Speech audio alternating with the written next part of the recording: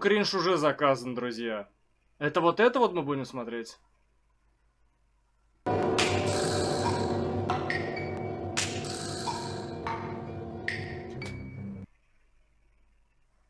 Первое, что очень важно, что мы не поймем э, философию того или иного философа, пока мы не найдем их место в философском процессе. Вот это составляет, пожалуй, самую большую сложность. Когда мы в 21 веке на русском языке открываем текст какого-то философа, который жил например, в другое время, в другой культуре, то почти наверняка и значение 95% слов, которые он Ну, вряд ли 95, но окей, окей, ладно. оперирует, и конструкции, которые что-то доказывают, окажутся для нас непонятными. Да. Потому что выбрать, э, философы писали много по-разному, значения в разных языках и в разных исторических эпохах одних и тех же Абсолютно согласен, кстати. слов. По много раз менялись, при Да. переводе возникает еще друг наложение. Соответственно, читать первоисточники в философии, по сути дела, почти, как ни странно, бесполезно на первом этапе. Вот когда вы специализируетесь в каком-то, каком-то автору, в каком-то времени, в какой-то школе, тогда действительно это очень полезно. Но прежде чем приходить к тексту, Проблема в том, что все тексты, которые мы читаем классические, они уже переведены. Переведены на наш современный русский язык. автора, необходимо проделать предварительное знакомство о структуре философского процесса и структуре истории философии. То есть философия понимается через, по крайней мере, хотя бы очень приблизительное помещение того или иного философа, той или иной теории на шкалу всего философского процесса. Поэтому, естественно, мы и будем рассматривать э, А, Философского процесса как такового не существует. Это не какая-то единая сущность. С 13 минуты после начала. Https двоеточие слэш слэш яуту точка без слэш фипов 0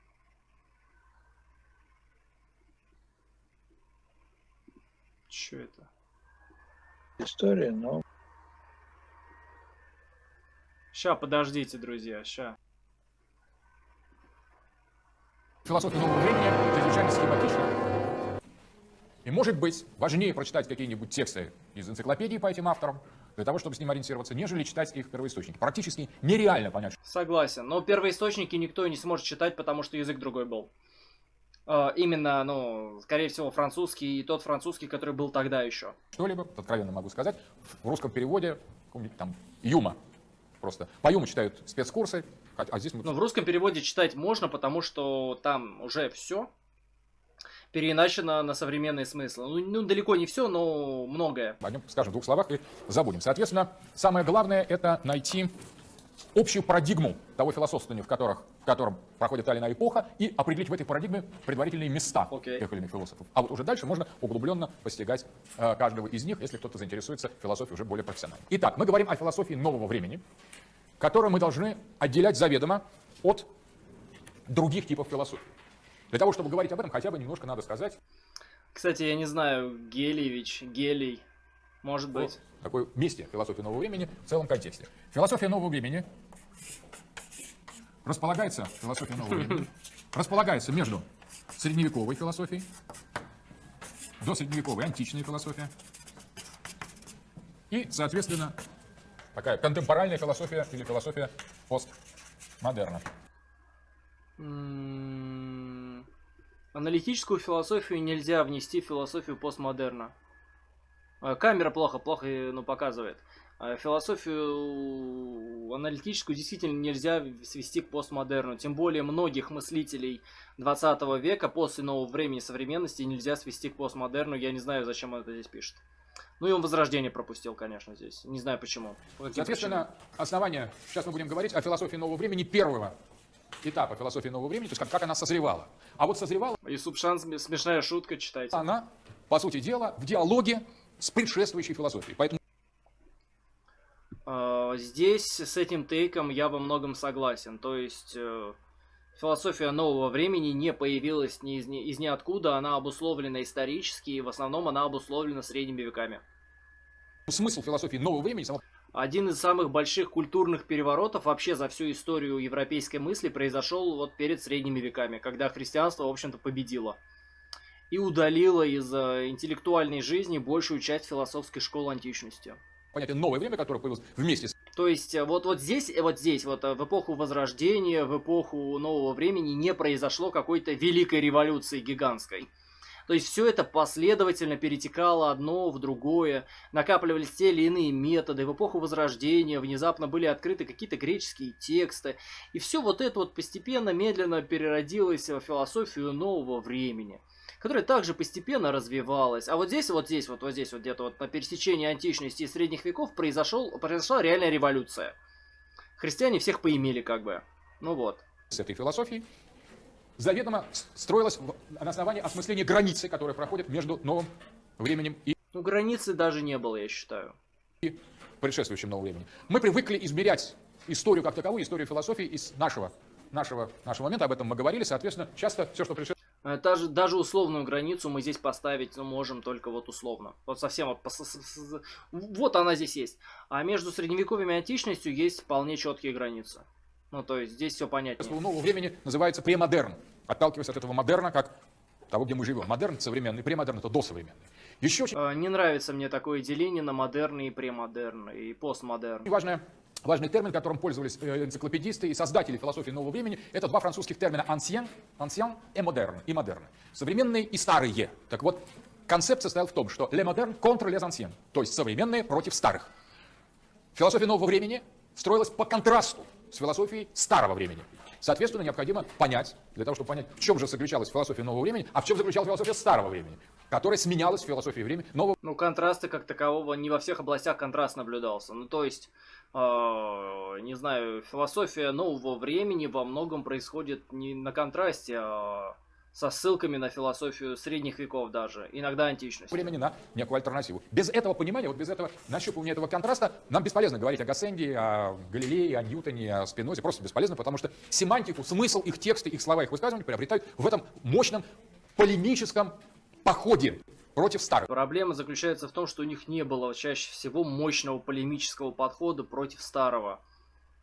Э, Галилей был э, деятелем в череде других деятелей.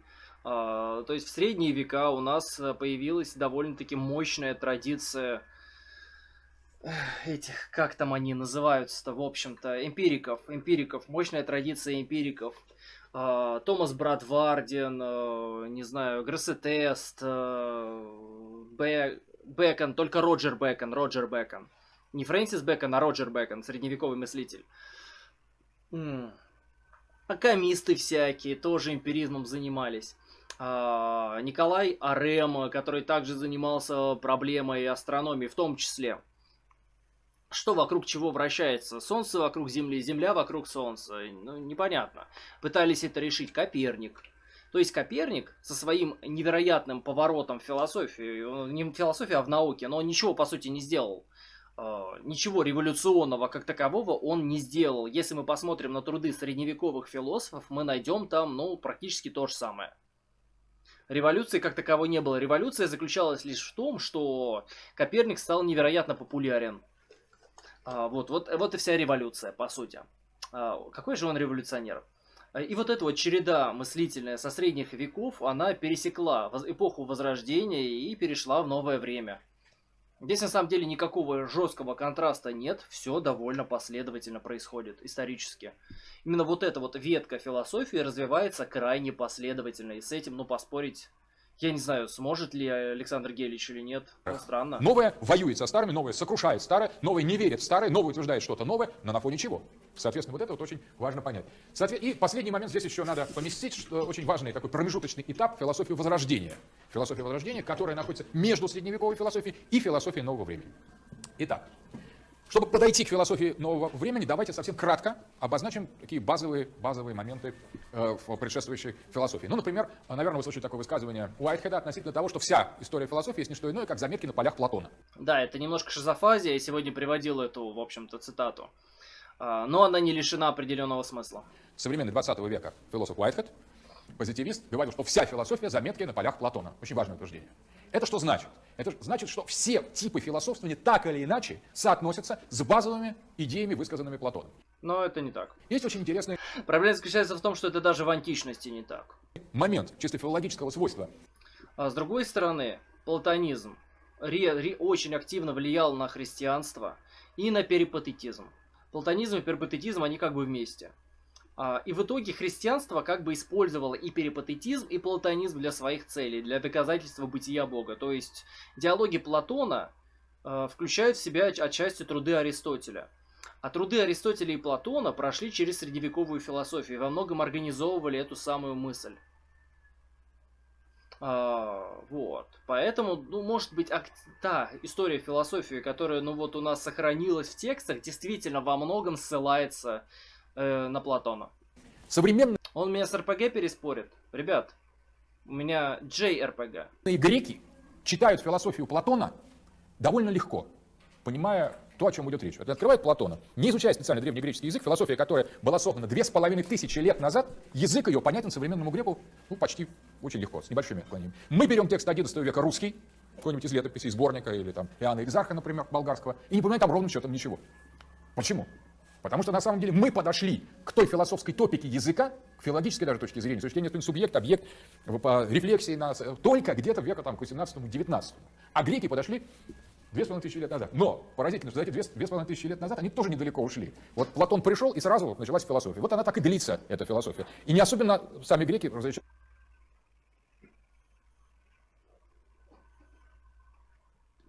Платон пришел и началась философия, да? Серьезно? Ну, это даже не смешно просто, как бы.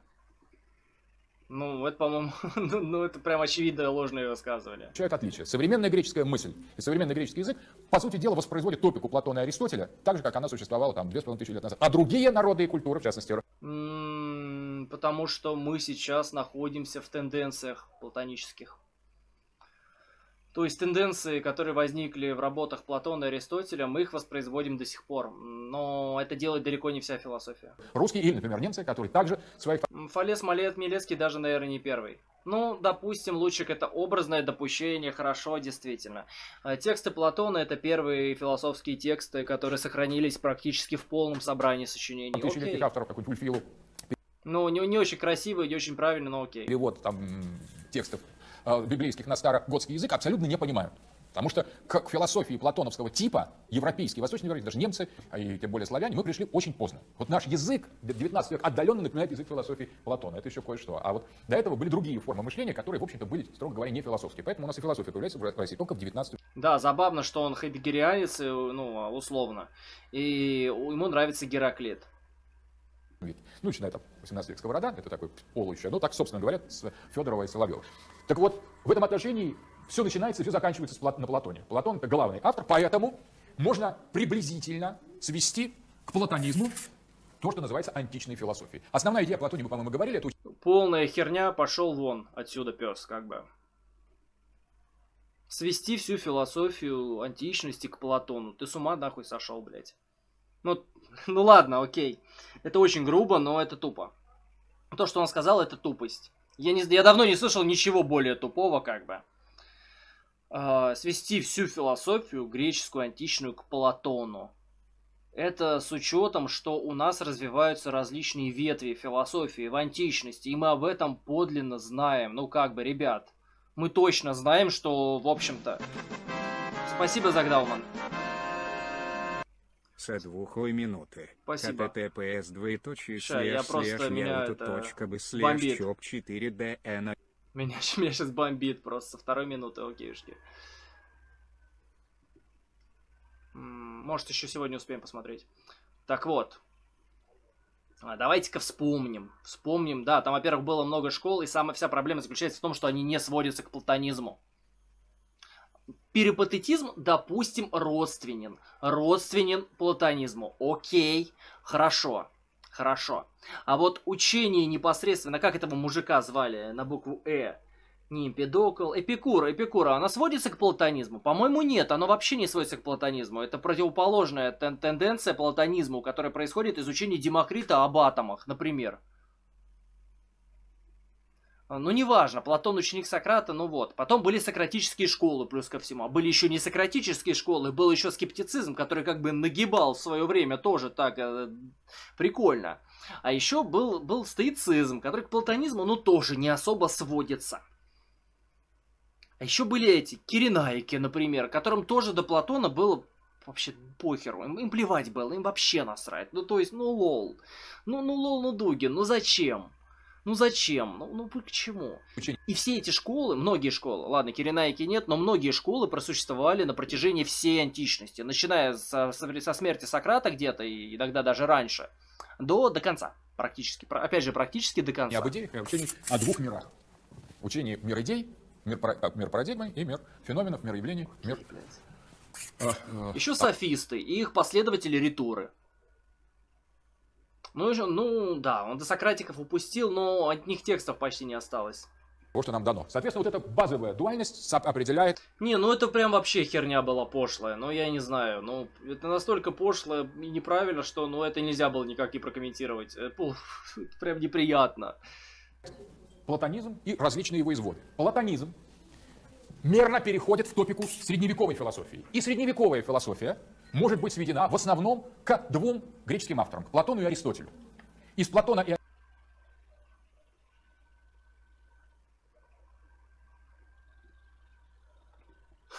А, Возможно, все последующие идеалистические течения основывались на Платоне. А, Лучик, э, в средневековье, да, окей. А, Но когда он говорит про античность, это полная чушь. Это полнейшая чушь. Это вообще не имеет никакого отношения к античности. Вот в чем проблема. Платон и Аристотель это своя там, это свои две тусовочки, которые были действительно близки друг к другу. И то не слишком уж близки на самом-то деле. Расхождения были довольно-таки мощными. Он говорит, все можно свести к ним двум. Нет, нельзя. Нельзя, ни в коем случае нельзя сводить все к Платону и Аристотелю. Просто тексты Платона и Аристотеля это те тексты, которые сохранились и дошли до нашего времени, в принципе, практически в полном собрании сочинений. И нам это нравится, и мы их читаем, и мы такие, у, как много, как замечательно. А просто когда мы будем говорить о стойках, а тексты Зенона Китийского, если не ошибаюсь, до нас вообще не дошли. Тексты Хрисипа, второго по важности стоика, до нас тоже вообще не дошли. Их было 400 штук. 400 текстов Хрисипа. Об этом пишет Диоген Лаэртский. 400. 400. Ни один не дошел. Единственный параметр, по которому, в общем-то, Дугин сейчас судит, это то, что Платон и Аристотель, их тексты сохранились до нашего времени, в том или ином виде. Ну чё, круто? Ну, только так никто из исследователей нормальных не судит. Потому что очевидно, что это тезис ложный. Эпиктет дошел, это поздний стоик, да. Аристотеля и состоит Но это уже поздний период стоицизма, римский даже. основа среднеевропейской схоластической мысли.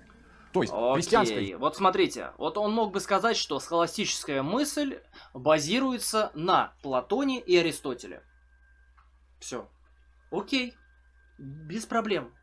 Я разрешаю. Никаких проблем здесь нет. Можно попробовать поспорить, можно попробовать поспорить, но при этом не сказана никакая чушь. Э, Кстати, давайте заметим, что поздние стоики во многом э, испытали влияние и Платона, и Аристотеля. Поздняя стоя уже ис- испытала влияние, но они не занимались непосредственно такой важной философией. А, правда, что Платон был одним из самых левых древнегреческих философов? Наверное, нет. Наверное, все-таки нет. Европа, западная и восточная, Ну, то есть, вот тут, тут было несколько минут, где он тупо подряд обсирается несколько раз. А потом, в принципе, высказывает нормальный тезис. Нормальный, да, хороший тезис. Действительно, Платон, Аристотель очень сильно повлияли на средние века. Хорошо. Поспорить можно, можно, но мы не будем, потому что мы не придираемся к мелочам. Поехали. то есть греческая, византийская, живут на христианизированном, переврать переведенном в богословие, наследии Платона и ученика Платона Аристотеля. Между Платоном и Аристотелем существует множество Сначала тексты, вообще-то христиане просто уничтожают все тексты Платона и Аристотеля. Но, но по счастливой такой случайности эти тексты а, переходят, оказываются непосредственно у арабов. А вот арабы, арабы переводят тексты Платона и Аристотеля на свой язык, изучают их, у них появляется такое интересное течение философское, как а, восточный перипатетизм. Восточный перипатетизм очень странно, почему он называется перипатетизмом, вообще-то, но он является определенным смешением платонизма и перипатетизма, в котором есть элементы и того, и другого. А, Что не странно. И они впервые смешивают и математику, и логику, что тоже, кстати, редко встречалось.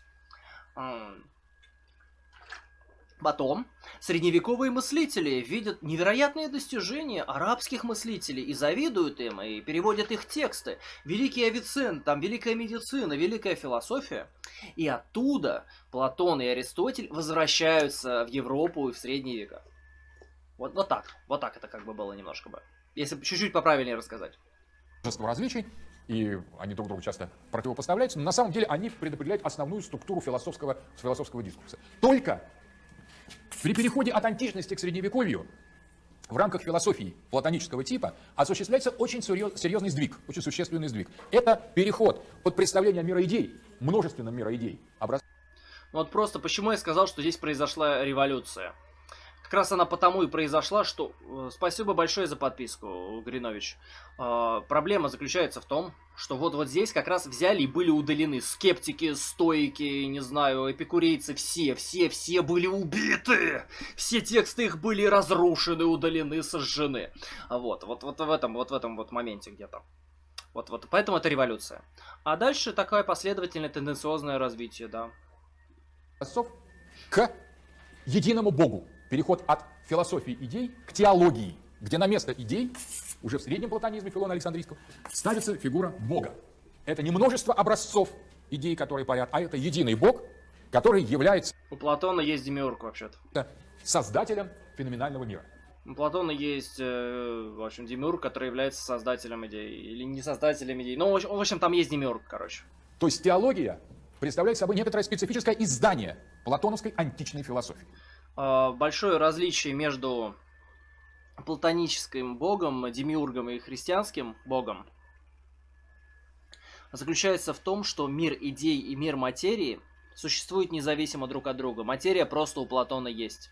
Его объективный идеализм одновременно является объективным материализмом.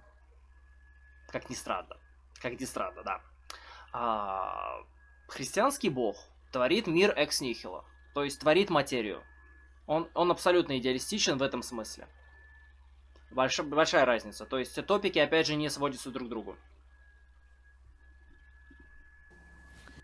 Э, Хотя влияние окажется. Вли- Влияние все равно будет замечено в итоге. Ну, его, его можно будет заметить.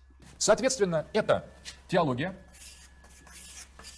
которая представляет собой такое развитие платонизма в средние века. У Фомы Аквинского, в первую очередь, у других схоластов, не сразу, там, не- через ряд этапов, приобретает характер фиксации в большей степени на аристотелевском понимании. То есть Согласен, до Фомы Аквинского, а еще лучше сказать до Альберта Великого, мы сталкиваемся в средние века с преобладанием Платона над Аристотелем. Аристотель даже во многом вроде бы запретом считался. А Потом а, Альберт Великий и тем более Фома Аквинский, ученик Альберта Великого, ну непосредственно занимаются этой проблемой.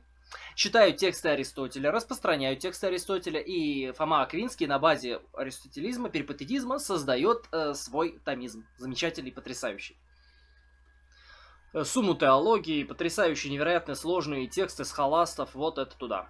возникает идея, что есть теология, Бог трансцендентный, запредельный, и мир, созданный им. А вот законы мира, созданного Богом, определяются по логике аристотелевской. То есть отличие от Платона Аристо- от Аристотеля заключается в следующем. С точки зрения Платона идеи существуют до вещей, предшествуют им, и могут существовать и без вещей. У Аристотеля форма, не идея. То есть идеи первичны. Это основная спор в универсалиях средневековый был. А с точки зрения Если это лекция в философском факультете, то это плохо. Аристотеля идеи существуют в вещах. Еще раз. логики аристотелевской.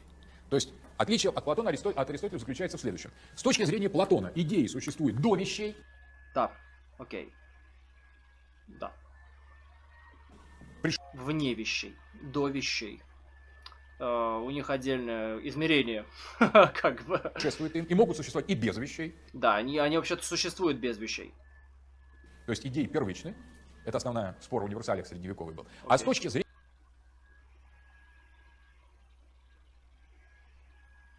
Спор об универсалиях действительно связан с этой проблемой, но немножко по-другому. Аристотеля идеи существуют в вещах.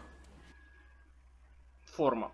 То есть, если бы он сказал слово форма, и это было бы различие хорошее. Ну ладно. То есть с точки зрения Аристотеля сразу нам дано явление. И это явление всегда двойственно. В нем есть Идея возникает в абсолютно материальном мозге, в смысле она первична.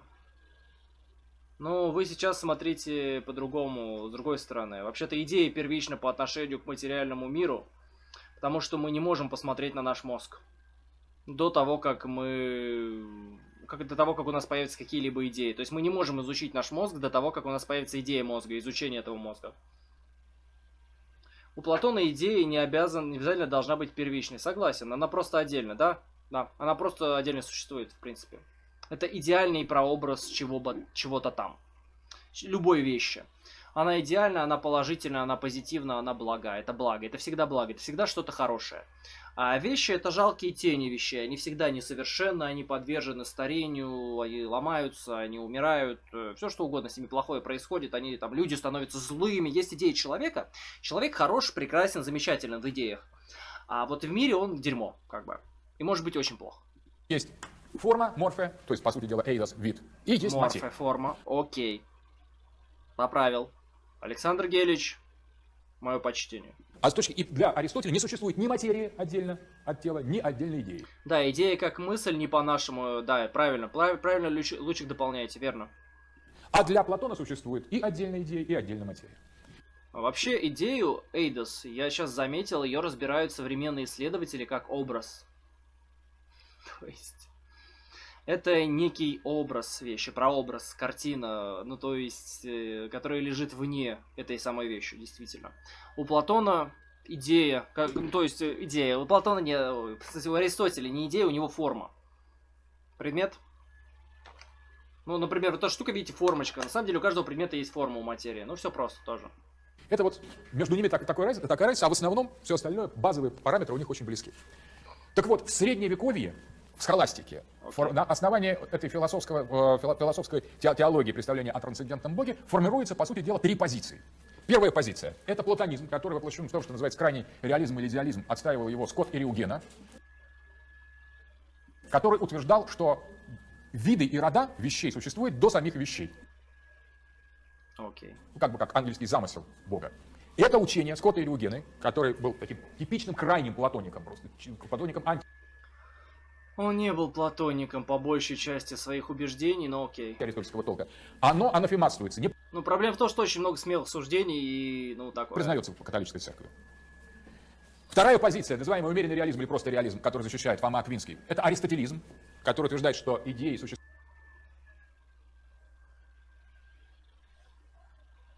А чё скачки такие? в вещах, но идеи существуют, но в вещах, не до вещей, а внутри вещей. Стоп. Чё-то я вспоминаю про Фому Аквинского немножко по-другому. Он, по-моему, утверждал, что идеи существуют и до вещей, и в вещах, и в нашей голове. Одновременно идея об этой вещи. Я могу сейчас сильно ошибаться. Сейчас, я буду проверять.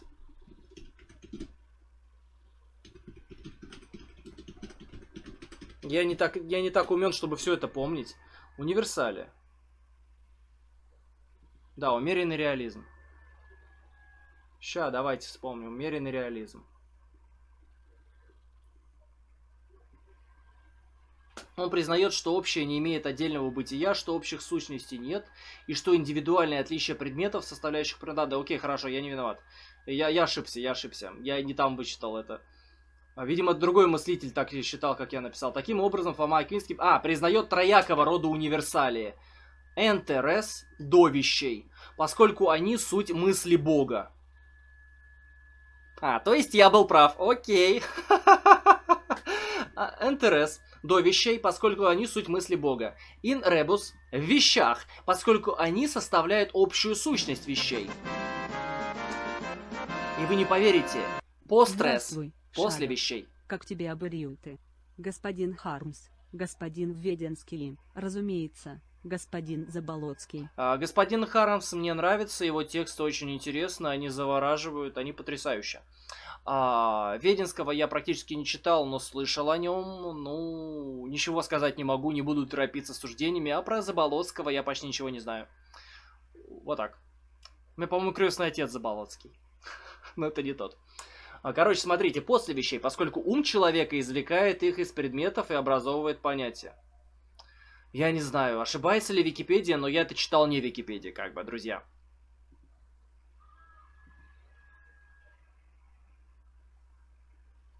Так, а у Аристотеля же субстанция, четыре стихии, там глина, к примеру, он же у Эмпидокла подсосал это, скорее у Акела.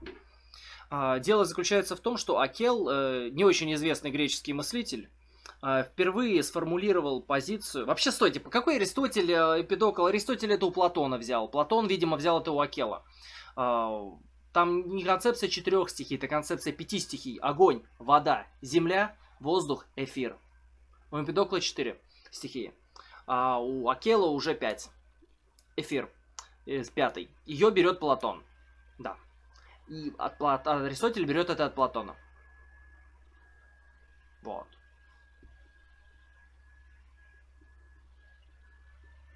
Как некое идеальное измерение А Дугин что-то херню сморозил. То есть, смотрите, ребят. А, Про Фому Аквинского, опять же, про универсалии, давайте вернемся. То есть, были идеи. Были такие представления, смотрите. Вообще-то, э, умеренный реализм Аквинского это комбинаторика чистой воды. Он взял и объединил э, все вот эти вот вещи. Инребус в вещах. То есть, у нас есть несколько, у нас есть три концепции, три, три позиции. А, то есть, э, есть универсалии до вещей, то есть есть роды и виды до вещей. Вот они здесь. Это одна позиция. Есть следующая позиция. Они есть в вещах. Это еще одна позиция. Есть еще третья позиция. Они после вещей. То есть только у нас в уме. А есть четвертая позиция. Они везде. вещей, с помощью которых мы их и познаем. Это некий след божественного воздействия на вещи, которые их оформляют. Любовь и ненависть это филия и не помню, это раздор. Это, смотрите, филия, что такое филия, Маркус? Я вам напоминаю, вообще в Греции. А, Филия – это тот вид любви, который заставляет нас быть вместе с кем-то, стремиться к кому-то, приближение. Вы хотите быть со своим лучшим другом, например. Вот вы сидите и скучаете. «М, как мне не хватает своего лучшего друга. Вот бы сейчас он был со мной, мы бы тут сейчас поговорили о чем-то веселом. Это филия. А, Стремление к приближению, сближению. По сути, это сила притяжения. Честно говоря. А, Любовь в значении Эмпидокла это сила притяжения. Сила, которая все притягивает, соединяет. А, Под ненавистью понимается раздор. Сила, которая все разъединяет. Вот по этому принципу соединения и разъединения работает великий сфайрос вот этого самого великого Эмпедокла. А, а стихии у него это атомы, они атомарные, это частицы, которые объединяются и соединяются под силами притяжения и раздора. А, вот. Третья позиция, вот это внимательно, Ну, Кольчер Валчер притяжение было бы хорошим переводом, но тут проблема, опять же, в греческой филии. Ну, то есть, он, он-то выражал термином любви. Только в Греции это особый тип любви получается. Что интересно, что интересно подчеркнуть в это данном случае. номинализм, который отстаивали представители францисканского ордена, в частности Расцелин, и Оккам, тот самый Оккам, как, чьи бритву, Марселин Оком, окей, верно. А, только вот э, еще позиция есть, ты упустил. наверное, вы И неправильно перечислил позицию этого Фома Квинского. слышали, который говорит, не надо двоить сущности, и есть только вещи, только вещи. И вещи, в отличие от аристотелианства, не являются двойными. В них нет отдельной идеи, отдельной формы. Есть только вещи, А Пьера Беляр где? а еще есть имена. Имена дают люди. Ну, то есть, где Пьера Беляр, короче? А где Пьера Беляр? Куда делся Пьера Беляр? Ну ладно. вещам. С точки зрения реалистов, имена присутствуют внутри вещей, как их дух, как их логос вещей. Но только в вещах. Без вещей они не могут существовать. А с точки зрения платоников могут существовать отдельные имена, имена Божии, например, которые, распространяясь вниз, создают вещи. Но могут и не создавать. С точки зрения аристотелианцев, реалистов, все вещи несут в себе этот божественный логос и материальное основание. А с точки зрения третьей позиции, номиналистов, существуют только вещи, а имена придумывают люди. Ну, ребят, заказывайте, будем смотреть все, что с ним связано, да я сойду с ума, я чувствую. Три позиции определяют спор средневековой философии, но так или иначе все, все это становится понятным только при апелляции обращения. Позиций больше, в средневековой философии значительно больше, и все не сходится на споре а, об универсалиях. Это хороший спор, но он такой вот. к Платону и Аристотелю, то, как они понимали идеи. Какая концепция победила и окрасила собой догматы средневековья, кто знает? Какая концепция победила и окрасила собой догматы средневековья? Никакая. Никакая. Да, в средневековье. Ну, в конце был номинализм, в общем-то, комизм, закат э, схоластики. А? Умеренный реализм, абсолютно правильно. Ну, при это, это при том, что закат схоластики пришелся на рассвет э, акамизма. Не знаю. Ну, не знаю. Но в итоге-то никто не победил. Умеренный реализм, аристотелизм. Анафематствована крайняя форма платонизма в лице Скотта и Риогены, анафематствовано учение Расцелина и Оккана с его бритвой, которые тоже посчитали, что не, не слишком такое материалистичное Но комизм-то в итоге э, тоже номиналистичен. учение, есть только вещи. Ну, Расцели... окей, Расцелин, да, окей, насрать на него, но комизм все же. а имена могут придумывать люди, и победил умеренный реализм, то есть томизм от имени Фомы Аквинского. Тома, вот так пишется. Ну, в смысле он победил? Остальные что, сдохли, их убили, может быть, я не знаю. По латыни. Они не повлияли на развитие дальнейшей философии, может быть. Тома Аквинат, Тома Аквинский. Не, Аквинский это величина, конечно, ну невероятная. Это мощный философ, конечно же. И томизм это мощное течение, но... Ну, как бы лол. Фома, называем томизм.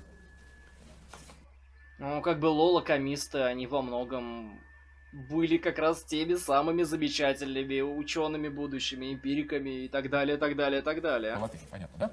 Победили. Так, значит, это тоже такое победили. важное, э, важное замечание. Теперь, соответственно, а, появление номинализма в эпоху Средневековья, по сути дела, представляет собой уникальное философское явление, которое в значительной степени выпадает из всего строя платоновско-аристотелевской философии.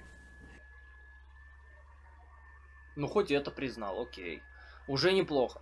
Но с другой стороны, проблема заключается в том, что уже в античности было много вещей, выпадающих из топики Платона и Аристотеля. Это не характерно для Средневековья, оно не просто анафематствовано, оно, по сути дела, признано таким не, несоответствующим вообще представлению о христианском или платон, Акамизм, чё? платоновском классическом представлении о мире, где должны быть идеи, либо предшествующие, либо внутри вещей. Мир без идей, где вещи просто организуются в какой-то порядок внешней силы, причем еще человеческой, которая дает им имена, условные имена. Такого мира, по сути дела, быть не может с точки Ща я окно открою, потому что мне дышать нечем. Ща. Ай. Ща, ща, ща, ща.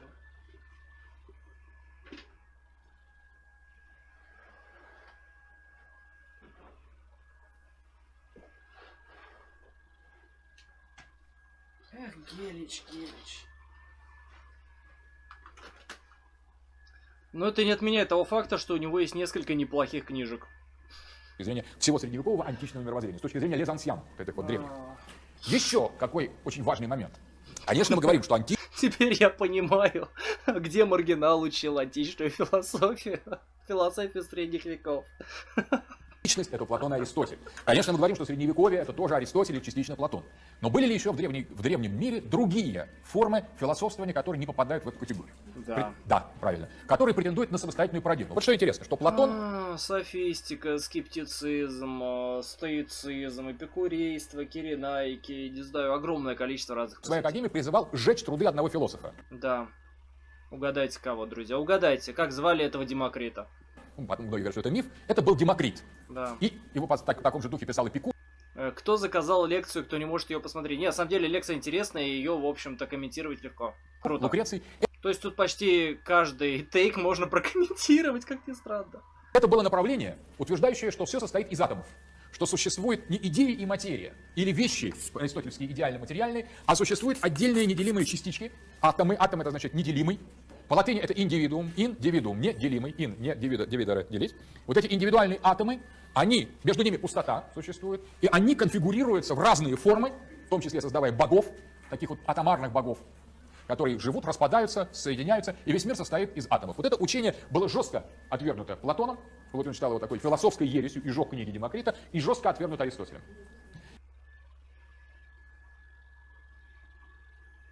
По-моему, уже у Диогена Лаэрского написано, что это вроде бы миф. На всем протяжении средних веков к этому э, атомизму практически никто не обращается, хотя в античности, в частности тот же Лукреций, представители последователи эпикурейства есть определенным образом. Но это как раз не Эпикурейцы сомневались в существовании богов, если не ошибаюсь. составляет ни мейнстрима, ни главного направления западноевропейской философии, не они предопределяют ее базовый строй. Тем не менее, надо сказать, что это есть. И вот мы приходим к эпохе Возрождения. Эпоха Возрождения – это период, когда рушатся философские системы Средневековья. Нет. К сожалению, нет. Рушатся они не сразу, не сразу мы попадаем в новое время, а вначале мы проходим Согласен, если бы все было непоколебимо, смотреть было бы неинтересно, я абсолютно согласен. эпоху Возрождения. Что такое эпоха Возрождения? Эпоха Воз- Ну, то есть, э, в смысле, томизм, что ли, все уничтожается, исчезает, его больше нет. Схоластики больше нет. В университетах больше никто не думает. Ну, то есть, вообще все взяли и закончили. Свидания. это обращение итальянской интеллигенции, начиная от Петрарки и Марселио Фичино, флорентийская школа, куда приезжают многие греки после падения Византийской империи, даже до ее падения во время заключения Флорентийской унии, которые в Византии, в глубоко христианской, тысячи лет христианской Византии, тем не менее продолжают в значительной степени традиции греческой античной философии. И они привозят с собой, в частности, гемист Платон, греческий интеллектуал из Мистры, он при- привозит с собой труды Платона, неоплатоников, Платина и других У эпикурейцев боги были чисто для их догматов нужны, как идеал жизни.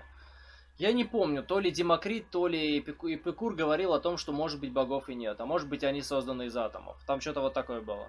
вот, античных А, ну значит все-таки у эпикурейцев, окей. авторов, которые в Средневековье практически неизвестны были с- э, в христианской философии западной.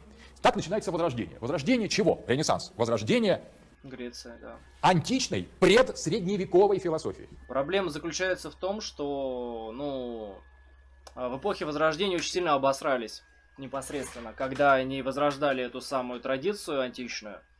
Ну, на самом деле, у них не было достаточных ресурсов для того, чтобы понять эту античную традицию. А Более того, они получили тексты этой античной традиции не самых надежных источников, опять же. И они подвергали эту античную традицию невероятно христианским трактовкам. То есть, опять же, революции здесь никакой не произошло сильной. Практически все идеи э, эпохи Возрождения так или иначе взаимо... относятся, в общем, позитивно так или иначе к христианству. Так-то революции и разрушений после поджогов библиотек христианами не было, пишут. А, Было только продолжение. Продолжение. Например, Шеллер не мог отделаться от души христианской, только вводил свои категории так, так везде. А, напоминаю, что революция заключалась в том, что закрывали все школы. Вообще все школы закрыли. А, христианские римские императоры закрывали философские школы. Ну, не смот- мы не будем учитывать те случаи единичные, когда философов вообще убивали, там, и так далее, так далее, так далее. Там, не знаю, озлобленная толпа христиан, там, не знаю, на горе. Уби- убила бе- бе- бедную, бедную, бедную же- философу, философиню. Ну, вот такое вот, такое. Получается, все античные э, источники переписаны христианами? Нет. Нет. А, христиане долгое время ими не владели, они все взяли, уничтожили и норм. Ну, не дошло до нас, и у христиан их тоже некоторое время не было. То есть даже у Платона и Аристотеля, тексты Платона и Аристотеля пришли христианам из э, непосредственно арабского мира. У арабов они сохранились, ну, по крайней мере, потому что замечательный Александр Македонский, а потом Римская империя, ну вот, всё- у них была большая империя, которая захватывала большие территории, э, выходящие за пределы Европы далеко. А, Ввиду этого, ну и, соответственно, платонические школы и прочие другие образования интересные тоже распространились далеко, и там существовали те или иные тексты. И, и в общем-то, поэтому, поэтому, поэтому тексты и сохранились. Из-за того, что были такие большие расстояния, огромное количество разных школ в разных местах.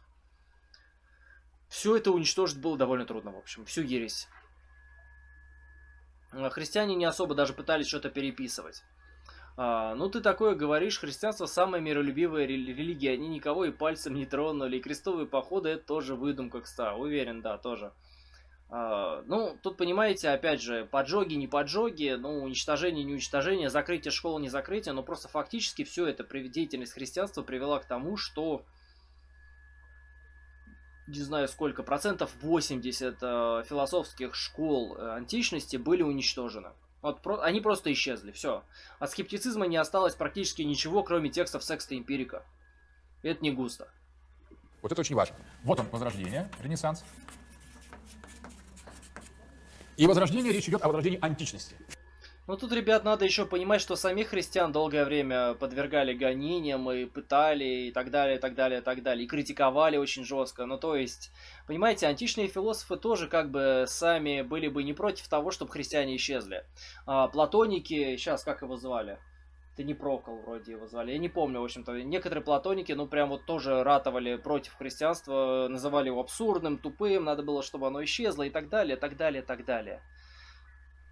А, Первые самые яркие антитеисты были Критий и Ксенофан. Первый вообще религию высмеивал э, наподобие теперешнему Докинзу. А вы Продика забыли, Лучик, Продика забыли. Один из софистов, вообще-то. М, Притом один из старых софистов. Критий это уже ученик старших софистов. Он, по-моему, даже не стар, он считается старшим. В первую очередь А вы пропустили как раз первое поколение главных вот этих вот атеистов. Это софисты. Не- некоторые, некоторые софисты были атеистами, в общем-то. И один из них Продик. ситуативно речь идет о противопоставлении Платона и неоплатоников, А то есть история как в США сейчас, типа того. хри- э, схоластическому, томистскому аристотелизму. Платон Но лучик я вас и дополняю. Я дополняю вас тем, что я знаю непосредственно. Если бы этого не знал, я бы, может быть, мог сказать глупость, но здесь нет. Говорит, Э, Может быть, до, до, до Продика еще были какие-то первые, самые яркие антитеисты, я не знаю. А, Но Продик э, первый из тех, кого я увидел. вот это был правильно видел мир, идеалистически видел, видел мир, а Аристотеля укоряют в неком механицизме. Отсюда возникает идея людей как магов, это типично возрожденческая идея, что маги-философы, созерцающие идеи, способны эти идеи в себя воплотить и философствовать, изменяя мир. По сути дела, это издание некоторого активного платонизма, вплоть до такого платонизма, который бросает вызов догмам христианства в лице Джордана Бруно. Это тоже платонизм, только возрожденческого толка. Хм, Согласен. Э, Джордано Бруно тот еще мистик, э, колдун, а, математик. э, На самом деле его мировоззрение, наверное, одно из самых ненаучных. Когда в качестве примера сожжения ученых приводят э, Джордано Бруно, ну хочется спросить, а вы видели учение Джордано Бруно? Вы читали его тексты? Вы читали хоть что-то вот о нем? Вы что-то о нем знаете вообще в принципе? Вы видели, что какие он мысли-то исповедовал? Это довольно смелый человек, смелый для своего времени, но он точно не делал это как ученый. уже от- отрицая вот этот момент, как я говорил, переход идей в Бога и потом назад от Бога к идеям. Вот у э, Джордана Бруно, философии возрождения, мы видим отмену идеи Бога в пользу идей как таковых, множественных идей, как у Платона. То есть очень характерный ход Джордано Бруно пантеист. А, ну, если как магов... это с точки зрения перешагивания средневековья в пользу античности. Но как любая реставрация, потом прошло очень много, прошло тысячелетия, потому что полтора, полтора тысячелетия. Вы же, если уж ходите, так не, не валите все подряд, как поизящней. А, а, Соответственно, это возрождение не просто того, что было недавно, к чему можно еще вернуться, а это в значительной степени возрождение того, что настолько уже плотно забыто, что почти заново создается. Поэтому, конечно, огромное различие между платонизмом возрождения и платонизмом античным, потому что еще был христианский платонизм, еще тысячелетие христианского платонизма, который Ну, потому что в средние века не было платонизма, и в Возрождении, в эпохе Возрождения непосредственно платоники, там была вроде бы только одна школа платоников, как бы. То есть они официально называли себя платониками. А, Кстати, в средние века тоже был кружок платоников, если я не ошибаюсь, это Сен-Викторский кружок, или он как-то так назывался. Там очень определенная группа людей действительно исповедовала платонические взгляды в прямом самом смысле. Вот. Ну вот, как бы так, немножечко. Немножечко по-другому. две, с половиной тысячи лет назад, они тоже недалеко ушли. А, Соответственно, это возрождение не просто того, что было недавно, к чему можно еще вернуться, направлена полемика возрождения. Средние века начинают рассматриваться как темные века именно возрождения, которые закрывают эту чистоту греческой, якобы греческой античной классической мысли, которые ее прин- принижают, ставят человека в подчиненное условие раба и твари, а необходимо дать человеку свободу, волю, поскольку человек не просто творение Божие, а скрытый Бог, спящий Бог. Вот смысл философии возрождения. И вот так мы подходим к границе философии нового времени. Новое время продолжает критику возрождения, которое возрождение начало против старого, в первую очередь против средних веков, но радикализирует ее. И вот здесь возникает очень интересный момент, самый принципиальный момент, что главными парадигмами нового времени, в отличие от философии возрождения, становятся два подхода, отброшенных ранее. Это атомизм Демокрита, который Не все мыслители нового времени были атомистами. Даже не все ключевые мыслители нового времени были э, атомистами. вообще был не при делах все это время, к которому обращается вместе с идеей а, интереса к античности, оставленной за пределом э, философии средневековой, и к номинализму. Нет. Э, Эмпиризм нового времени не имеет никакого отношения к номинализму. Э, Номинализм, э, ну не знаю, каждая вещь уникальна, например. Одно из главных суждений номинализма. Ну вот, вот, вот это вот не две вещи. Это одна вещь и это еще одна вещь. Их нельзя даже посчитать, по сути. Каждая из них уникальна, универсальна. Нету никаких родов, видов, они просто не существуют. Мы их тупо придумываем. Они нам нахер не нужны. Это просто выдумки нашей фантазии. А, Такой подход был не свойственен философии нового времени. Практически у всех эмпириков был совершенно другой подход. Ну, Оккама и Расцелина, утверждавшего, что вещи существуют без их идейной составляющей.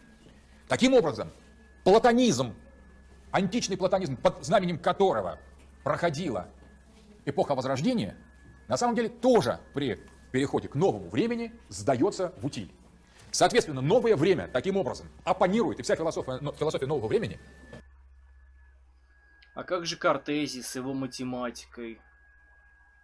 Которая восходит к платонизму вообще-то. Дукин тут, я не знаю, видите все эти кружочки? Каждый кружочек, который он нарисовал, это лажа. Считайте, считайте по ним. А, так вот, э, Кортезий, вспоминаем, э, математика, рационализм от Платона взятый у него. М, Да, в целом да. Суждение о методе, так, также такой поверхностный скептицизм античный, тоже от Платона скорее взяты, знаете.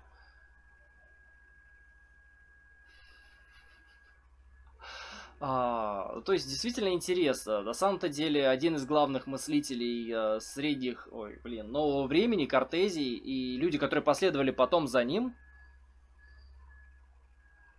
ну, они не отвергли Платона, в общем-то, в целом.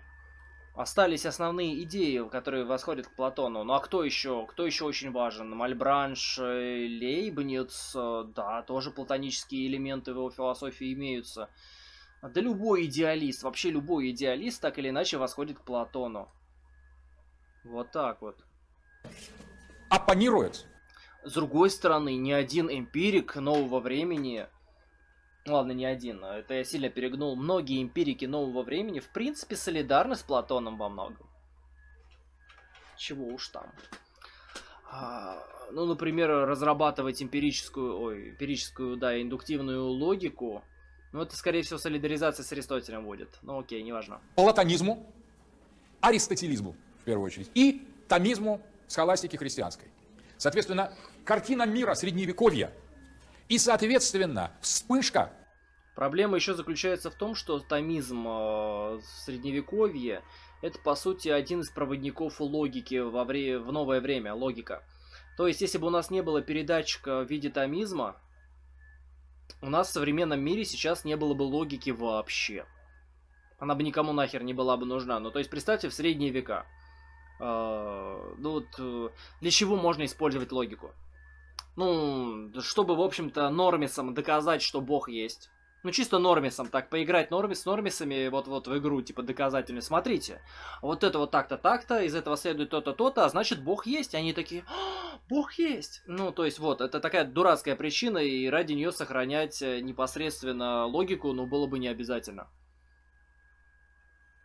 А Во-вторых, ну, из атомизма логика считается довольно-таки важным э, методом познания.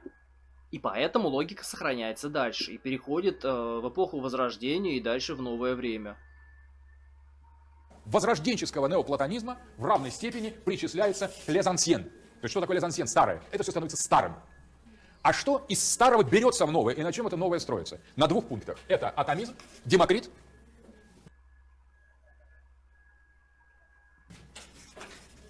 ну и, соответственно, Эпикур, Концепция, ну вообще-то эпикурейство в эпохе Возрождения уже имеется одна школа, но они в основном этику там взяли. А, Дальше что у нас здесь-то находится в эпоху нового времени? Давайте подумаем, вспомним. Э, Кортезий, у которого материя была разлита. Ну, то есть, это не были атомы, материя была едина. То есть, апейрон беспредельная. У Кортезия есть. То есть, опять же, не атомизм. Ну, например. Кто первым возродил атомическую концепцию философии нового времени, я не знаю даже. Я даже, даже не вспомню. Лукреций, вся линия атомизма, и номинализм, Ростелин и Оккол.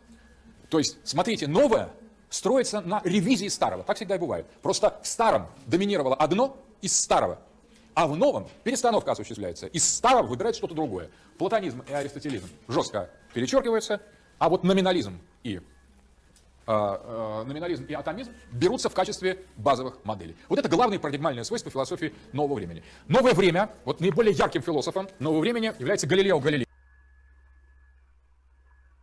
Окей.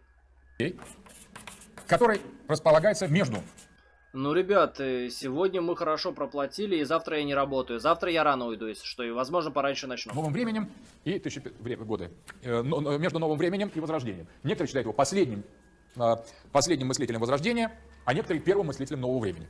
Вот он как раз принадлежит вот этой грани между новым временем и возрождением. А Галилео Галилей формулирует альтернативную аристотелизму концепцию движения, материи, физических Ну, Галилео Галилей исключительный персонаж для своего времени просто. свойств.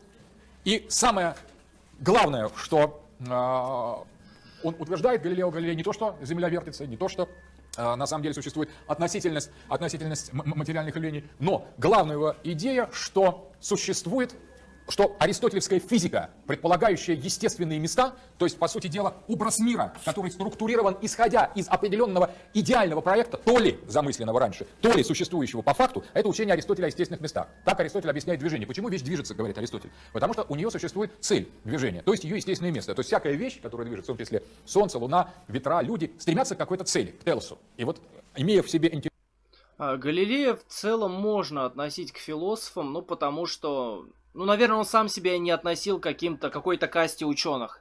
Этой самой касты ученых, ну, просто в то время не было. Еще Ньютон, я вам для, для вас замечу, он все еще называет сам себя философом. Ну, то есть натурфилософом. Его текст называется сейчас, как-то там он называется, я уже точно сейчас не вспомню.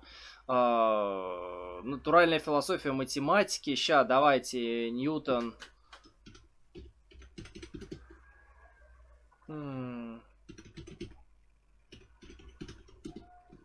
А, натурфилософия.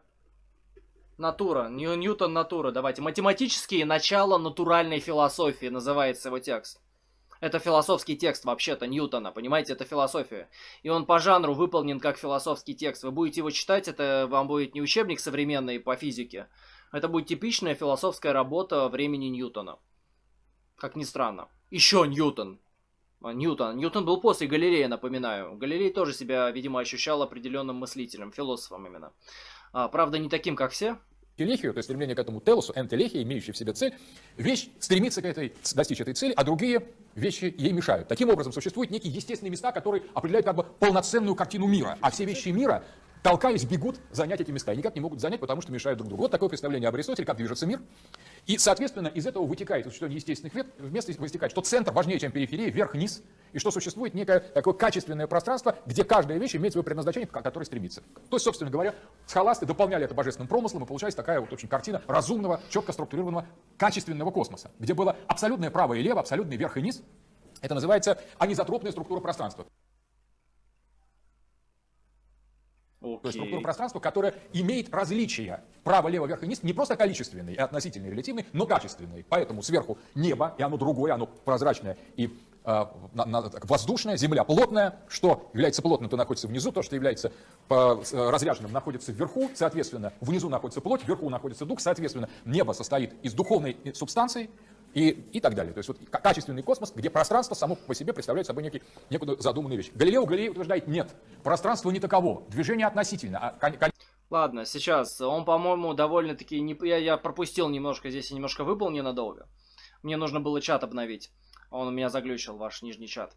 Так вот, э, он, по-моему, приблизительно правильно пересказал э, теорию средних веков. То есть, одно дело, и не только средних веков, и Аристотеля тоже, одно дело Земля. Здесь одни законы, здесь свои законы, здесь правят стихии, огонь, вода, земля, воздух. А там в небесах правит эфир, там вообще своя тема. Она духовная, она такая разряженная, простая, тонкая. Конечных естественных мест нет, поэтому движение имеет каузальную природу, а не телеологическую. Он правильно указывает здесь э, на то, что Галилей один из первых людей, который ввел в науке а, неразличимость законов, в общем-то, в разных вообще областях мира. То есть в любом месте, в любое время а, работают одни и те же физические законы. Телехийную. То есть движение происходит потому, что один атом сталкивается с другим, и все. Одни или там одна вещь сталкивается с другой, и если нечто меняется во времени, видимо, и в пространстве, то есть если в одном месте это одно под одним образом работает, а в другом месте другим образом работает, значит это не закон просто. От их совместного импульса порождается движение. Вещи никуда не стремятся. А тут рождается совершенно другой космос, другой мир. Так называемый изотропный космос, где не существует качественного пространства, а есть только количественное пространство, где правое и левое относительное, и, соответственно, что Земля... А, да, Галилей первый ввел теорию относительности, правильно, правда, это, ну, исчислительная теория относительности. То есть мы можем вот Солнце. Э, ну, правда, он не вел это, это в средние века тоже было у Николая Арема, но ну ладно. А, Солнце, Земля. Мы можем рассматривать, что Солнце кружится, Земля кружится вокруг Солнца. Можем рассматривать, что Солнце кружится вокруг Земли. А, нам, в принципе, похеру, как это рассматривать. Мы можем измерять это вообще по-разному. Ну, то есть, мы можем измерять это э, относительно.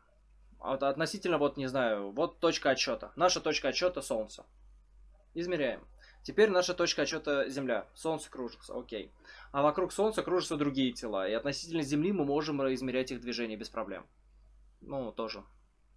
Земля может вращаться, а может не вращаться. Солнце может вращаться вокруг Земли, а может Земля вокруг Солнца. В зависимости от того, на какую позицию мы становимся. Новый мир.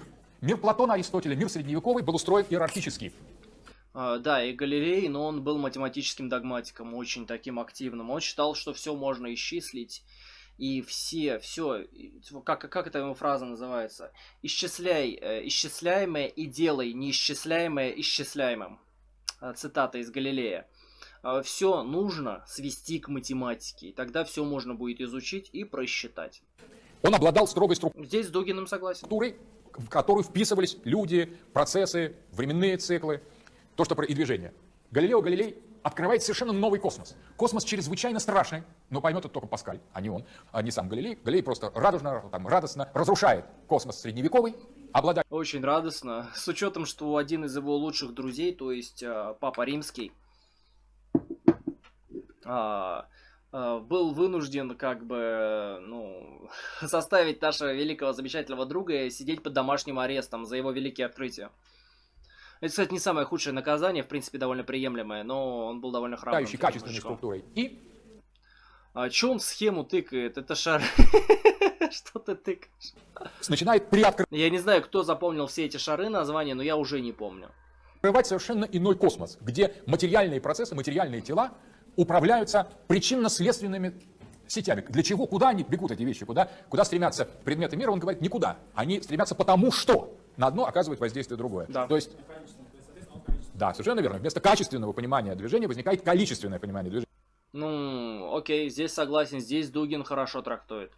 Вместо иерархизированного анизотропного пространства возникает изотропное пространство. И таким образом Галилео Галилей, хотя его относят к классическим физикам, его философские ну, физик тогда еще просто был э, философией. Физика была философией тогда просто. Еще разделом философии. Принципы, которые он обнаружил, становятся фундаментальными для нового времени, потому что он, и именно он, приоткрывает новый мир, с которым мы будем иметь дело в новом времени. Вселенная Галилео Галилеи – это вселенная, с которой будет иметь дело философия нового времени. До этого эта вселенная имела совершенно другую структуру. Она состояла из трех, из трех пластов, где мир людей находился в середине. Сверху был мир ангелов, снизу был мир демонов. И мир людей был между ними расположен не только физически с точки но и с точки зрения смысла. Потому что ниже человека, когда человек падал, например, он падал не просто физически, а он спускался в ад. Поэтому... Эх, Данте Алигьери. Как мы любим Данте. Мораль в- стро- строилась вот такой тройной топике, которая имела географические аналоги. Э, Души грешных людей попадали под землю, вниз, а души святых наверх. И разное было отношение к спасению. В мире, э, в космосе, в средневековом в центре можно было спастись, наверху на небе уже нечего было спасаться, там только все были спасены, святые, а внизу было невозможно спастись, в аду. И вот эта картина, где физическая Ну нет, Изиапка, это не шуе, это просто средневековая теория. Вполне так себе, рабочая. Ну, то есть он описывает сейчас средневековую теорию, он не утверждает, что это так в действительности, на данный момент. реальность вписывалась в реальность духовную, моральную и качественную, это была естественным космосом этого средневекового и античного мира. Космос Галилея вообще иной, и философ, философствовать здесь надо по-другому, считает он. Другой автор, очень важный с точки зрения топики философии нового времени, это Фрэнсис Бэкон, Да. который А кто из них атомист, пожалуйста? Александр Гелич, напомните? сходным образом Я помню, что вы сказали, что главная черта данной философии атомизм.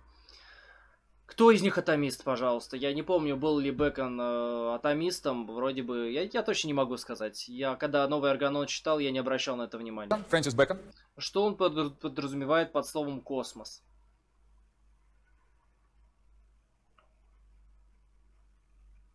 Космос.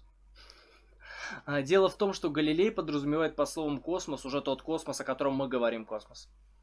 А, Для средних веков космос совсем другой. Вот и все. Вообще космос это порядок. а, английский, а, английский философ, он создает э, модель, как раз развивая идеи расцелина и номинализма. Он утверждает, что природа представляет собой совокупность предметов, которые Не совсем так. Мы можем обрабатывать мир с помощью индуктивной логики, то есть создавать общие суждения на базе частных и с этим работать. Ну, это между прочим, как бы. на самом деле не обладают никаким духовным измерением. Я в целом согласен, что акамизм, наверное, он более английский. Английский, чем э, неакамизм. То есть это свойственно Англии, наверное, больше. И, конечно же, и, конечно же, Роджер Бэкон здесь является некоторым продолжителем номинализма, но он не является в чистом виде номиналистом. Здесь э, передатчики определенных идей имеются от номинализма. Я здесь соглашусь с Александром Геличем именно в этом контексте, но которая есть но. и представляет столько самих себя, и любые их а, комбинации, любые их объединения в рода и виды есть не что иное, как деятельность человеческого разума. И Фрэнсис Бэкон описывает, Заебал просто. Сейчас, смотрите. Сейчас я введу волшебное слово. Пьер. Пьер. И добавлю к этому слово Абеляр. Пьер Абеляр. А, Колдун, великий мыслитель Пьер Абеляр. Философия. А В споре реализма с номинализмом, государственного бла-бла-бла, Абеляр занимал особое положение. Он не считал, подобно Расцелину, а, идеи или универсалии только пустыми наименованиями или отвлеченными, равно отвлеченными равно не соглашался с представителями реалистов, ну, Гильем Шампо, например, да, был. А, Что идеи составляют всеобщую действительность, да-да-да-да-да. А что же он утверждал? Напротив, Абеляр доказывал и заставил Гильома Шампо согласиться с тем, что одна и та же сущность а, подходит каждому отдельному лицу не во всем ее о, существенном объеме, но только индивидуально, конечно. Таким образом, в учении Абелиара заключалось уже примирение двух великих та-да-да концепций, да-да-да-да-да. Ну, то есть, вот он сформулировал вот эту вот слитую позицию, о которой Дугин говорит, и которую он причисляет вообще-то номиналистам по какой-то причине. Почему-то он позицию Пьера Абеляра причисляет номиналистам. Я, честно говоря, не понимаю, почему. При этом он не озвучил концепцию Пьера Абеляра и, и что-то не очень круто озвучил концепцию номиналистов в целом. Странно. что задача науки и задача философии – это установить господство человека над объектами внешнего мира, то есть над природой. Модернист, мы говорим о философии нового времени, это есть модерн. Да, мы говорим о философии нового времени. Бэкон Это Ленинка, у нас здесь философские стримы. Что у нас тут нового? Мы обсуждаем Гелича. основатель философии нового времени, считается просто классическим автором. Он выдвигает новую философскую программу. Смотрите, в чем ее Не новую. А, Я уже раз- рассказывал про непосредственно Николая Арема, э, Томаса Брадвардена и так далее, так далее, так далее. То есть э, эмпирическая традиция философии в средние века уже существовала и была развита. Ну, развивалась, по крайней мере, там. Отличие. Принципиальная концепции Бекона, философии Фрэнсиса Бекона от философии вот этой всей средневековой античной философии. Не всей. Нет, Гелевич не очень нормально вещает. Э, Не знаю Папича. Когда человек средневековья или античности смотрит на космос, он видит в нем на самом деле не- некоторое дополнительное измерение. Либо идеи, которые стоят за предметами, либо следы божественной мощи, божественного творчества, которое М, Бэкон не был атеистом, он верил в Бога. как бы слегка касаются этих вещей, и которые он, постигая, может спастись. То есть отношение к миру – это отношение к чему-то священному, к тому, что несет в себе дух. Поэтому космос качественный, поэтому космос является моральным в каком-то смысле, и поэтому по, по- по этой модели иерархического космоса создано соответствующее государство, мораль, культура, эстетика и так далее.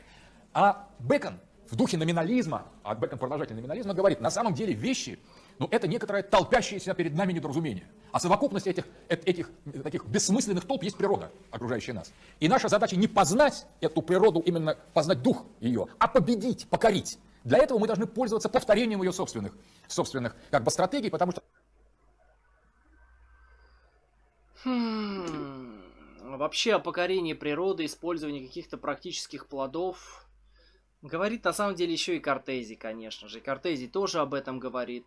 Об этом говорит и Фрэнсис Бэкон, об этом говорит и Роджер Бэкон, средневековый мыслитель вообще-то, эмпирик. Но это немножко другой аспект. Просто с другой стороны, э, в а в философии нового времени, ну вот у Фрэнсиса Бэкона, также имеется такой другой аспект. Мы познаем, знаете как еще? А, Мы познаем таким образом э, книгу мира. Таким же образом, как мы познаем книгу бытия. Книгу бытия и книгу мира написал Бог вообще-то. Познавая книгу мира, то есть природу, мы приближаемся к тому, что написал Бог в книге бытия. М. Ну, то есть у Дугина немножко ограниченные представления о Фрэнсисе Бэконе. Вот к чему. А, Дугин учился на философа. А, Смотря средневековый крестьянин в космос хочет его победить. Да средневековому крестьянину плевать было. У него просто иногда проскакивают интересные мысли, но при этом куча шизы и заимствований. Насколько я понимаю, это стандартный постмодернист. Ну, такой странный дед. на самом деле духа в, них, в ней нет, есть дух только в человеке. Философии Бэкону. не существует. А, Ну, я не могу ее потрогать, я согласен. Философии не существует, да. А задача человека подчинить самому себе природу. Такой, такой задачи просто никогда до философии нового времени не ставилось. Херня. Полная чушь, э, не знаю, буржуазная пропаганда, э, платонический обман, э, не знаю, пещера Платона просто тотальная. Ну, я уже сказал, что ставилось. Старые, о которых мы говорим, Роджер Бекон. Читай. Тленилка, он во всем почти сейчас не прав. Тут лекция состоит из череды ошибок, неточностей и вещей, которые, ну, Дугину следовало, ну, просто вот, ну, хотя бы прогуглить, как минимум. Ну, вообще Дугин норм. Вообще Дугин норм, но сейчас он очень э, странно трактует историю философии. Лезансьян, старорежимные философы, до нового времени всегда резервировали за природой какое-то священное измерение. Бекон говорит, да никакого там священного измерения нет. Просто пода- подавить, покорить, раз- называть так или так, заставить Нет, он как раз был за познание, но просто со священным измерением тут сложности есть определенные. Работать на нас. По сути дела, человек оказывается единственным носителем духа, А, Бессмысленные слова в 21 веке, постмодерн и постмодернизм, слова касаются скорее э, всего будущего, не знаю. в мертвой вселенной. Согласен, Маркус, он говорит очень уверенно, но тут просто местами проскакивают очень жесткие косяки. Ну, Бекона можно просто хотя бы почитать для начала, чтобы утверждать, что вот он только так и считал. Мы берем новый органон и читаем, что он в принципе стремился к познанию, как и почти все философы. Это очень принципиальный вопрос. С этого начинается научная программа. Покорить А в каких э, темах, кроме Хайдегера, шарит Дугин? Ну, я читал его текст по социологии воображения, вполне хороший текст. Ну, там, конечно, есть проблемы определенные, тоже профессиональные. Дугин очень часто торопится, но нормальный текст, это приемлемый текст. Генон, например, да, тоже, Дугин в этом шарит. Ну вот здесь очень много косяков прям подряд. Причем, понимаете, я плохой историк философии. Я вообще отвратительно знаю историю философии. Это на самом деле я, я любитель. Вот я любитель. Я историю философии познал. Я просто читал различные тексты, читал сами тексты, а, читал энциклопедии разного рода. Ну и я слаб. Я, честно говоря, я очень слаб в этом. Но я вижу тут огромные косяки. мир. И наука, основателем которой в нового времени считается Фрэнсис Бэкет, именно для этого и служит.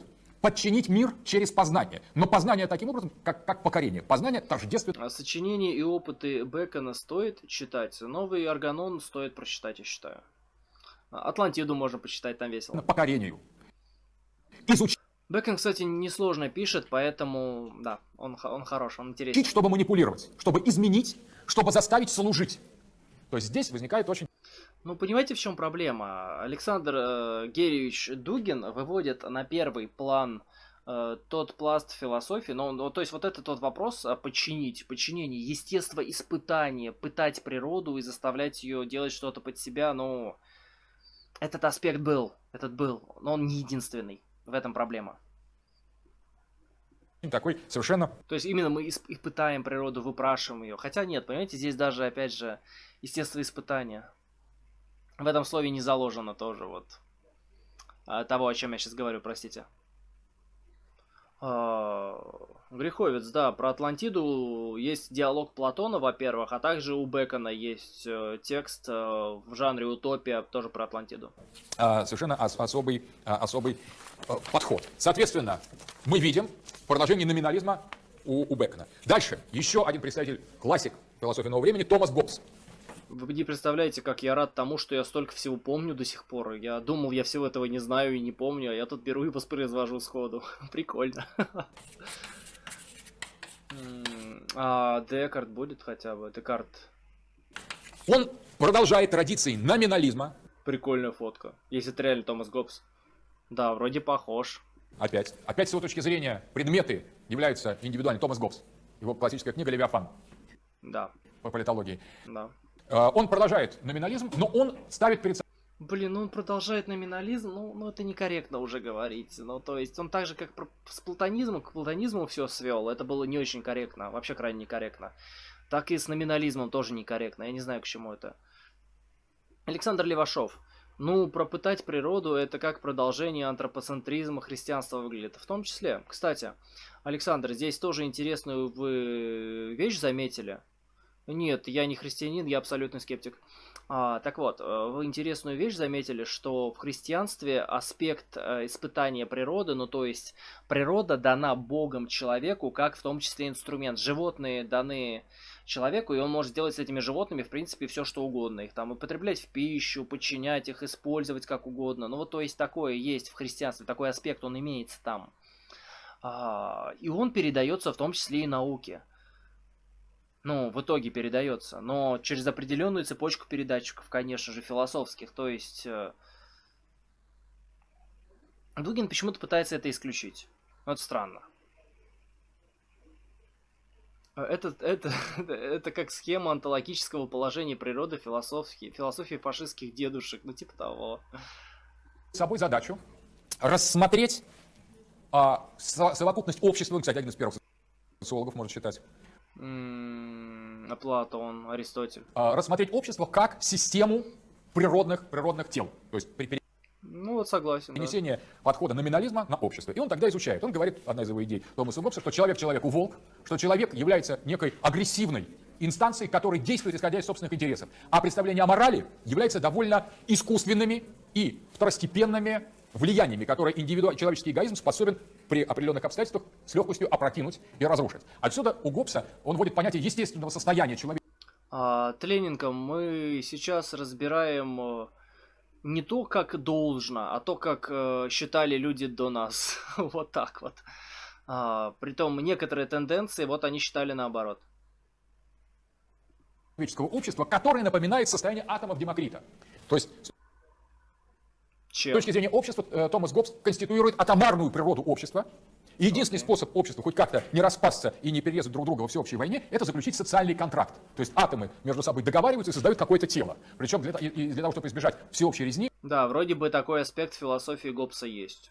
Томас Гоббс предлагает этим атомам индивидуальным так соединиться в государство, которое называет Левиафаном, чтобы дать этому государству полномочия и полновластие над всеми ими. Иначе, если им предоставить свободу, плохие по своей природе, такие агрессивные, эгоистичные люди уничтожат друг друга и человечество. Вот такое представление Томаса Гоббса, который переносит физические концепты номинализма и атомизма на социальную сферу. Он один из главных теоретиков политики нового времени. Три классика политической науки сформировали представление о политике нового времени. Философия Андрей, какие там были логические заблуждения в обосновании общественного договора, пожалуйста? политики нового времени. Это Томас Гоббс, это Никола Макиавелли, это Жан Баден.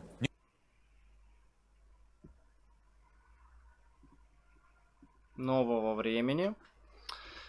Никола Макиавелли. Никола Макиавелли, окей.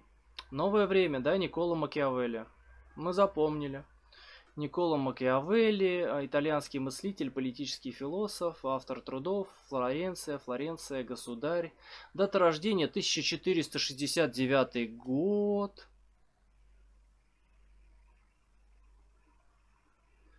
1969 год, как бы. Угу. Новое время. Угу. Ага. Ага. Да, вот он прям гопс практически. Интересно, интересно, очень интересно. Ну ладно, давайте прочитаем даже еще теснее. Э, Эпоха Возрождения, давайте. Эпоха э, Возрождения. Причем, понимаете, он Томаса Гоббса сначала произносит имя, а потом Никола Макиавелли внезапно. Давайте посмотрим. Эпоха Возрождения. Ну что уж там, э, аргументум ad Гуглиум э, мы проводим здесь, э, распространяем. Эпоха Возрождения. Давайте, философия. Вы не поверите, где он тут. И давайте, Никола, Николай Кузанский, э, Николай Коперник, Никола Макиавелли здесь. Представляете себе? Представляете себе Николая Никола Макиавелли. Почему? Непонятно.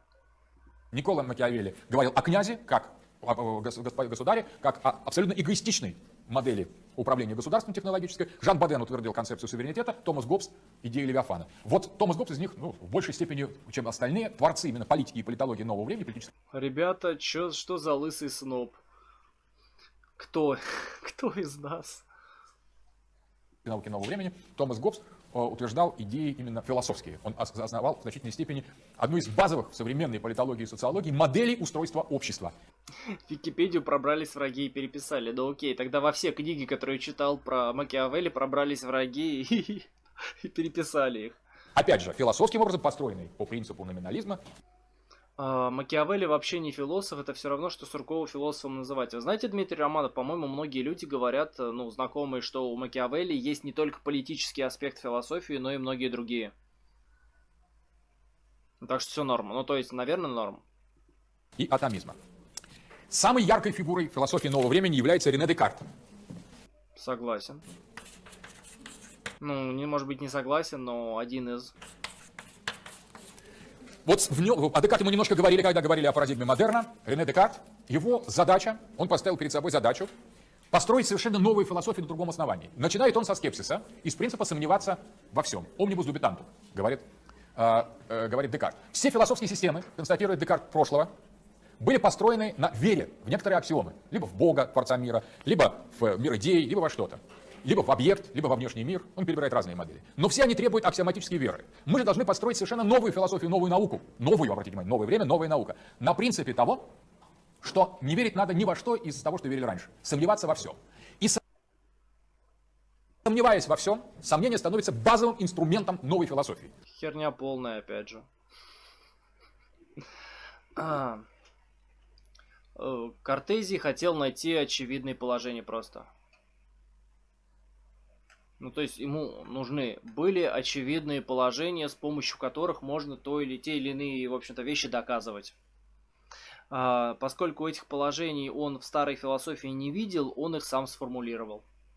На самом деле его стратегия мало чем отличается от стратегии практически всех мыслителей до него и после. Вот в чем проблема. Конечно, для, например, средневековья такой принцип невозможен. И для античности. Мы говорили, что в одном случае в античности у Платона это удивление лежит в основе О, философства. Да, невозможен для античности. А где появились-то скептики?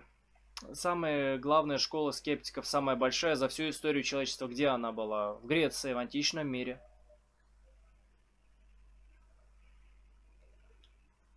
Ну, то есть, э, античный скептицизм, абсолютный скептицизм, не знаю, платоновский скептицизм средней академии, который противоречил вообще всем тенденциям а, платонизма в целом. А, софистика тоже около скептическое какое-то вот явление. Декарт же спорит с радикальными скептиками, это не были его взгляды. Не, нет, но он называет себя радикальным скептиком, но он просто заблуждается. Я думаю, Кортези просто не понял, а, кто такие скептики, он там немножко себе в голове там немножко перемешал это, и у него получилась довольно странная концепция. А, тем более скептиком до Кортезия является, ну, например, Монтень. Это просто тупо христианский мужик, а, это, это христианин, который критиковал общество обыденное довольно очень странным путем. То есть, э, он был моралофагом, так скажем, он до всех докапывался, он писал в своих опытах известных, о том, ну, какие все лицемеры, у, какие все плохие. Вот он такой скептик был интересный. Очень морализующий, очень морали... у него много морализации, в общем, для скептика. А, были еще промежуточные такие около скептики. То есть, смотрите, философии нового времени, на самом деле, и философии Возрождения никто на самом деле не понял адекватно скептицизм античности. То есть, таких радикальных проявлений скептицизма, как в античности, не было нигде. Но почему-то Кортези назвал себя радикальным скептиком, ну и окей. Вера лежит в основе философствования схоластики, средневековой философии, вера в Бога, как активный импульс э, организации философского социального процесса, а здесь сомнение становится главным инструментом философствования. Не согласен. И это свойство Математика. нового времени. На самом деле мы опять М-м. На сомнения всем плевать. видим в некотором смысле продолжение Сомнение технические не может быть методом познания. воздействия и атомизма, и номинализма, потому что номиналисты сомневаются в духе, сомневаются в существовании у мира священного. Том, что кто-то сомневается в духе, еще не значит, что он скептик. Если кто-то сомневается в материи, еще не значит, что он скептик. Если кто-то сомневается вообще хоть в чем-то отдельно, это не значит, что он во всех областях является скептиком. А скептик это тот, кто во всех областях сомневается. Одинаково. Все. Ну, священного измерения. И это сомнение, да, э, Эпикур, это сомнение в больших рассказах. Эпикур. Вот э, Декарт предлагает сомневаться во всем и подвергнуть все философские аспекты сомнению. А что же окажется таким очевидным, несомненным с этой точки зрения? Что-то должно остаться, но что-то есть, Ну, для скептика ничего. говорит Декарт. И он думает, да, действительно, что бы, что бы такое есть. А, вот я мыслю, говорит Декарт, следовательно, это есть. Да, он так быстро это говорит. И вот возникает идея когита эрго сум. Когита эрго сум. Ну, проблема заключается в том, что один из основных методов познания для Декарта это математика. Ну, то есть рационализм Декарта прежде всего математический. И... и даже не логический, не столько логический. Логика, как индуктивная логика, начинает ну, формироваться и проявляться в эмпирическом э, кружке. Ну, то есть это Фрэнсис Бэкон и его последователи. сум. Я мыслю, следовательно, я существую. Эрго сум. То есть доказательство бытия чего-то Как ни странно, нередко это переводит более утонченным способом. Я сомневаюсь, следовательно, я существую, поэтому мы можем усомниться в сомнении, то есть сомнение не имеет никакого значения тогда получается. И э, последним, в чем мы не смогли усомниться, является я. Потому что я сомневаюсь. Я сомневаюсь. чего бы то ни было, для Декарта это факт того, что он мыслит. Можно было бы сказать так, сомневаюсь, значит что-то есть. Да. Нет. Сомневаюсь, значит что-то есть. Э, Сомневаюсь, значит я есть. Я сомневаюсь, значит я есть. А Кто-то же сомневается, значит этот кто-то есть. А, Я мыслю, следовательно, я существую. Ведь кто-то же все это помыслил, кто-то усомнился в Боге, кто-то усомнился в математических, там, не знаю, преобразованиях, кто-то там, не знаю, усомнился в материи, кто-то усомнился э, в эмпирическом опыте, кто-то во всем этом усомнился. А кто же это был? Я. И значит, я есть. Ну, Там на самом деле очень простое суждение, рассуждение такое. Если есть кто-то, кто сомневается, значит тот, кто сомневается, и есть. Ну, можно сказать так, потому что мысль в данном случае, эта мысль представляет собой, с точки зрения Декарта, систематическое сом- сомнение. И вот когда Декарт выводит это представление о том, как доказывается бытие, на самом деле, то он приводит модель мышления. Если есть мышление, значит есть и бытие. Если то, есть тот, кто мыслит, значит тот, кто мыслит, есть. Ну, кто-то же есть, он говорит, вот, значит, он и есть. Да, верно. Это один элемент. Дальше. Смотрит Декарт вокруг. А вот что вокруг нас находится? Вот это там, какой такой собака там дохлая валяется, пнул ногой. А она мыслит, интересно? Ну, явно нет. Или какой-нибудь там Так она мертвая. цветок. Или Проблема заключается Декарта в том, что животные у него тоже не мыслили. Он как бы закрепил такой, такую христианскую позицию, согласно которому у животных нет души. А они не мыслят, соответственно, тоже. А, бедные. Эта концепция, кстати, и Хайдегеру тоже в итоге передастся. а, там, какая-то кучка а, мусора. Явно они не мыслят. Следовательно, но тот, кто мыслит и который есть, видит это, чувствует, воспринимает, значит, это тоже есть. И вот на этом возникает философская топика нового времени, которая называется дуализмом или рационализмом. А еще картезианством от слова Декарт, картезиус. Его по латыни Не следует путать дуализм и рационализм. Дуализм – два. Почему философия Картезия называется дуализмом? Потому что он указывал на то, что в мире существует вещь протяженная и вещь мыслящая. Вещь протяженная – это материя, она протяженная, потому что это неразделимая материя, которая вот везде, это не атомы. Это некоторые апейрон, это все везде совсем связано. Это единая целостная материя, с которой мы уже как бы соединяемся в определенных вихрях, вроде бы, я уже точно не помню, ну неважно. А есть вещь мыслящая, то есть мы люди. И вот этих вот сущностей две. Две. И поэтому это называется дуализм. Рационализм не сводится к дуализму, а дуализм не сводится к рационализму. Здесь просто случайное пересечение дуализма и рационализма у Картезия. Все. У Декарта всю философию христианства портит, все интересно и логично, а потом он начинает доказывать существование Бога. Да нет, там на много всего. Шадов, тебе не надоело его слушать? Да не, нормально, он много ошибок допускает, это весело. звучит. Итак, это называется дуализм, потому что есть две вещи. А, Сам Декарт называет их ну, только они не сводятся к э, рационализму-то. res cogens и res extensa. Дуген Хуген, когда под гачмиксы танцевать будем. Где Гачимикс-то? Я не вижу Гачимикса.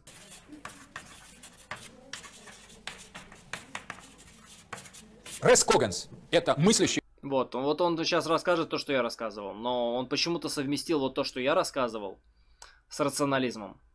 Хотя это совмещается именно у Картезия. вещь или нечто мыслящее, Да, ребят, 500 рублей за танец под Гачимикса и Гачимикс закидывайте. а res extensa – это вещь протяженная. Иногда res ex- вместо res, res cogens по латыни он использует термин esprit, то есть дух или сознание, Окей, мышление. Верно. А вместо res extensa протяженность, étendue французская. да. Вот это Декарт считает абсолютно достоверными вещами. Сомневаться можно во всем, кроме того, что существует res cogens и res extensa. Это без сомнения. И начинает строить новую науку и новую философию. Новую, обратите внимание, подвергнув все прошлое, античное и средневековое, сомнению, он начинает строить Ну, далеко не все. философию, отталкиваясь от этих двух понятий. Вот вообще далеко не все. Есть субъект и есть вот этот объект протяженности. Соответственно, базовая двойственность между субъектом и объектом. Что еще важно у Дугин переоценивает новаторство Декарта в данном случае. Декарта? У Декарта важно, почему называется рационализмом его учение. Потому что начинает он все-таки с субъекта. Да, с я, с Когито. То- М, 28 мне лет, Энди. То есть с мышления, когенс. Он говорит о том, что он мыслит, и из этого так это время, а не пространство, в том и заблуждение, кто, где, когда. выводит так называемый онтологический аргумент. Следовательно, это нечто есть. Поэтому это рациональное представление. А если б не мыслил, например, то, мол, и ничего бы и не было, или мы не можем ничего сказать о другом. Вот это представление о дуализме, которое утверждает существование и субъекта, и объекта на основании мыслительного процесса субъекта, и поэтому это такой создается дуализм. Вот это топик, я, по-моему, об этом говорил на, одной, на предыдущих лекциях, что именно в этом мире а, происходит становление и до сих пор современной науки. Это и есть основа нашего понимания мира, разделение на субъект и объект. Мы все являемся в той или иной степени А, дуализм мысли, окей. Друзья, напоминаю, что наука непосредственно пережила несколько переворотиков небольших таких, которые называются научные революции.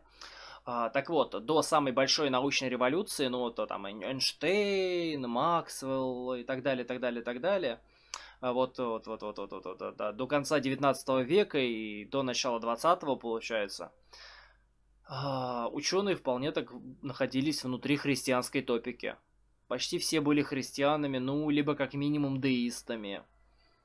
А иногда даже богословами многие были. Многим нравилось богословием заниматься, как бы, и они были богословами просто. Вот, вот, как, так, вот так вот получалось, что почему-то многие ученые были богословами. Какая случайность. А, об атоме. И так далее, так далее, так далее. Неожиданно, да? Не картезианцами, и для нас даже сложно представить себе, что может быть как-то иначе. Когда мы говорим о средневековом мировоззрении, это очень сложно представить себе. А картезианство для нас это естественно, вся наука всегда стремится к выделению, где субъект, где объект. И разница между ними, четкая грань между субъектом и объектом Соглашусь здесь с тем, что разницу между субъектом и объектом, а, ну, по большей части вел философию Картезий. И в итоге это прижилось в науке. Абсолютно согласен. Александр Садык, Садыков пишет. Да какая разница, ученые изобрели компьютер, через который ты стрибишь, окей. Составляет А вот ученый, который изобрел кружочки. Основу вот этой философии нового времени. Таким образом, этот рационализм или дуализм картезианский становится мейнстримным, одним из главнейших базовых направлений философии нового времени. Херня. Тут немножко по-другому. Ну, то есть, не этот самый дуализм, а немножко измененный, потому что вот эта вот вторая РС, которая протяженная. Ну, как бы ученые не верят в то, что вот эта вот РС, она является протяженной. Они верят в субъект и объект. Я и не я, получается. Теперь вопрос о, о Боге, например. Можно сказать так. Помните, мы говорили, что новое время ликвидирует Бога. Мы и так видим, что все, вот, все основные тенденции и Галилея, и, и Бекона, и Декарта так или иначе не начинают уж как минимум с Бога. Не начинают, но признают его. И Декарт, когда он задается вопросом, смотрите, опять очень интересно, галилеевским вопросом о причине, не аристотелевском о цели, а галилеевским вопросом о причине. Говорит, откуда мыслящий, откуда я вот мыслящий? У Аристотеля был вопрос о причине. Дугин, блин, Дугин, ты чё? У Аристотеля был и вопрос и о цели, и о причине. Цель – это благо, а причина – это перводвигатель. Ну там бог, демиург, по-разному его можно называть, но это перводвигатель, недвижимое, неделимое, то, что вызывает все движение. Тогда Декарт говорит, наверное, меня сделал Бог. Бог как причина. Он создал мир, создал меня, создал мир вокруг, Аргументы от движения, откуда в средневековье, от Аристотеля они идут, ну, лол. И дальше больше в этот мир не, не, не приходил. То есть это причина. Это не Бог живой, не Бог, который открывает себя через чудеса, через соучастие в мире, через проведение. Декарт отрицает и проведение, он говорит, что мир создал, вот Бог создал мир, а дальше он сам по себе существует. То есть это одноразовое такое вот включение Бога, потому что откуда-то должен появиться субъект и объект. Он, значит, соответственно, Декарт обосновывает существование Бога особым способом, радикально Дугин иногда как будто просто забывает про дохристианскую философию. Проблема в том, что даже с христианской философией что-то вот не то, потому что та самая замечательная, прекрасная причина, это уже у томистов проявляется, потому что у Аристотеля и причина, и цель. Сейчас давайте еще поясним. Аристотель. А, четыре, в общем-то, важнейших, не знаю, аспекта бытия, которые он так или иначе разбирает. Это материя, то, из чего что-то сделано. Форма, то, как это сделано, то, в, каком пози... в какой позиции, в каком положении оно находится. А, то есть еще первый двигатель движения, то откуда это происходит, откуда происходит движение, откуда оно идет и куда все это движется, ну то есть цель. А цель это благо. Ради чего все это существует? Ради блага. У Аристотеля все вопросы заданы эти. И у томистов тоже вообще-то. новым по отношению к вере. Это так называемый деизм или бог философов. В отличие от теизма, который бог верующих, бог вмешивающийся в историю, бог вмешивающийся в мир. Бог философов это бог причинный, бог гипотеза, бог Временами причина становится следствием так-то. Проблема заключается в том, что э, перипатетическая причина не может быть следствием. Это начало начала. Кон- концептуально утверждаемый в начале всего. Начало причинно-следственных связей. Вот потому что в начале что-то должно быть. И вот это в начале берется и рассматривается как Деус, Бог.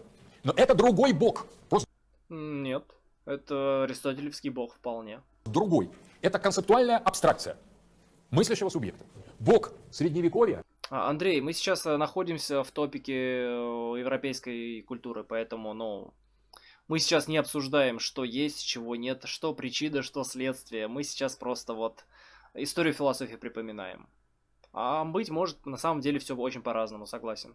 это Бог веры, а идеи античности это объекты прямого интеллектуального созерцания. Совершенно другое, нежели рациональный Бог философов. По сути дела, вот так или иначе, именно с Декартом м, сопрягаются, э, сопрягаются различные направления философии нового времени. Но параллельно Декарту, и, в общем-то, Декарт оказал огромное развитие на европейскую философию того времени, появляется фигура в Англии Исаака Ньютона, которого мы знаем А, Лучик, да.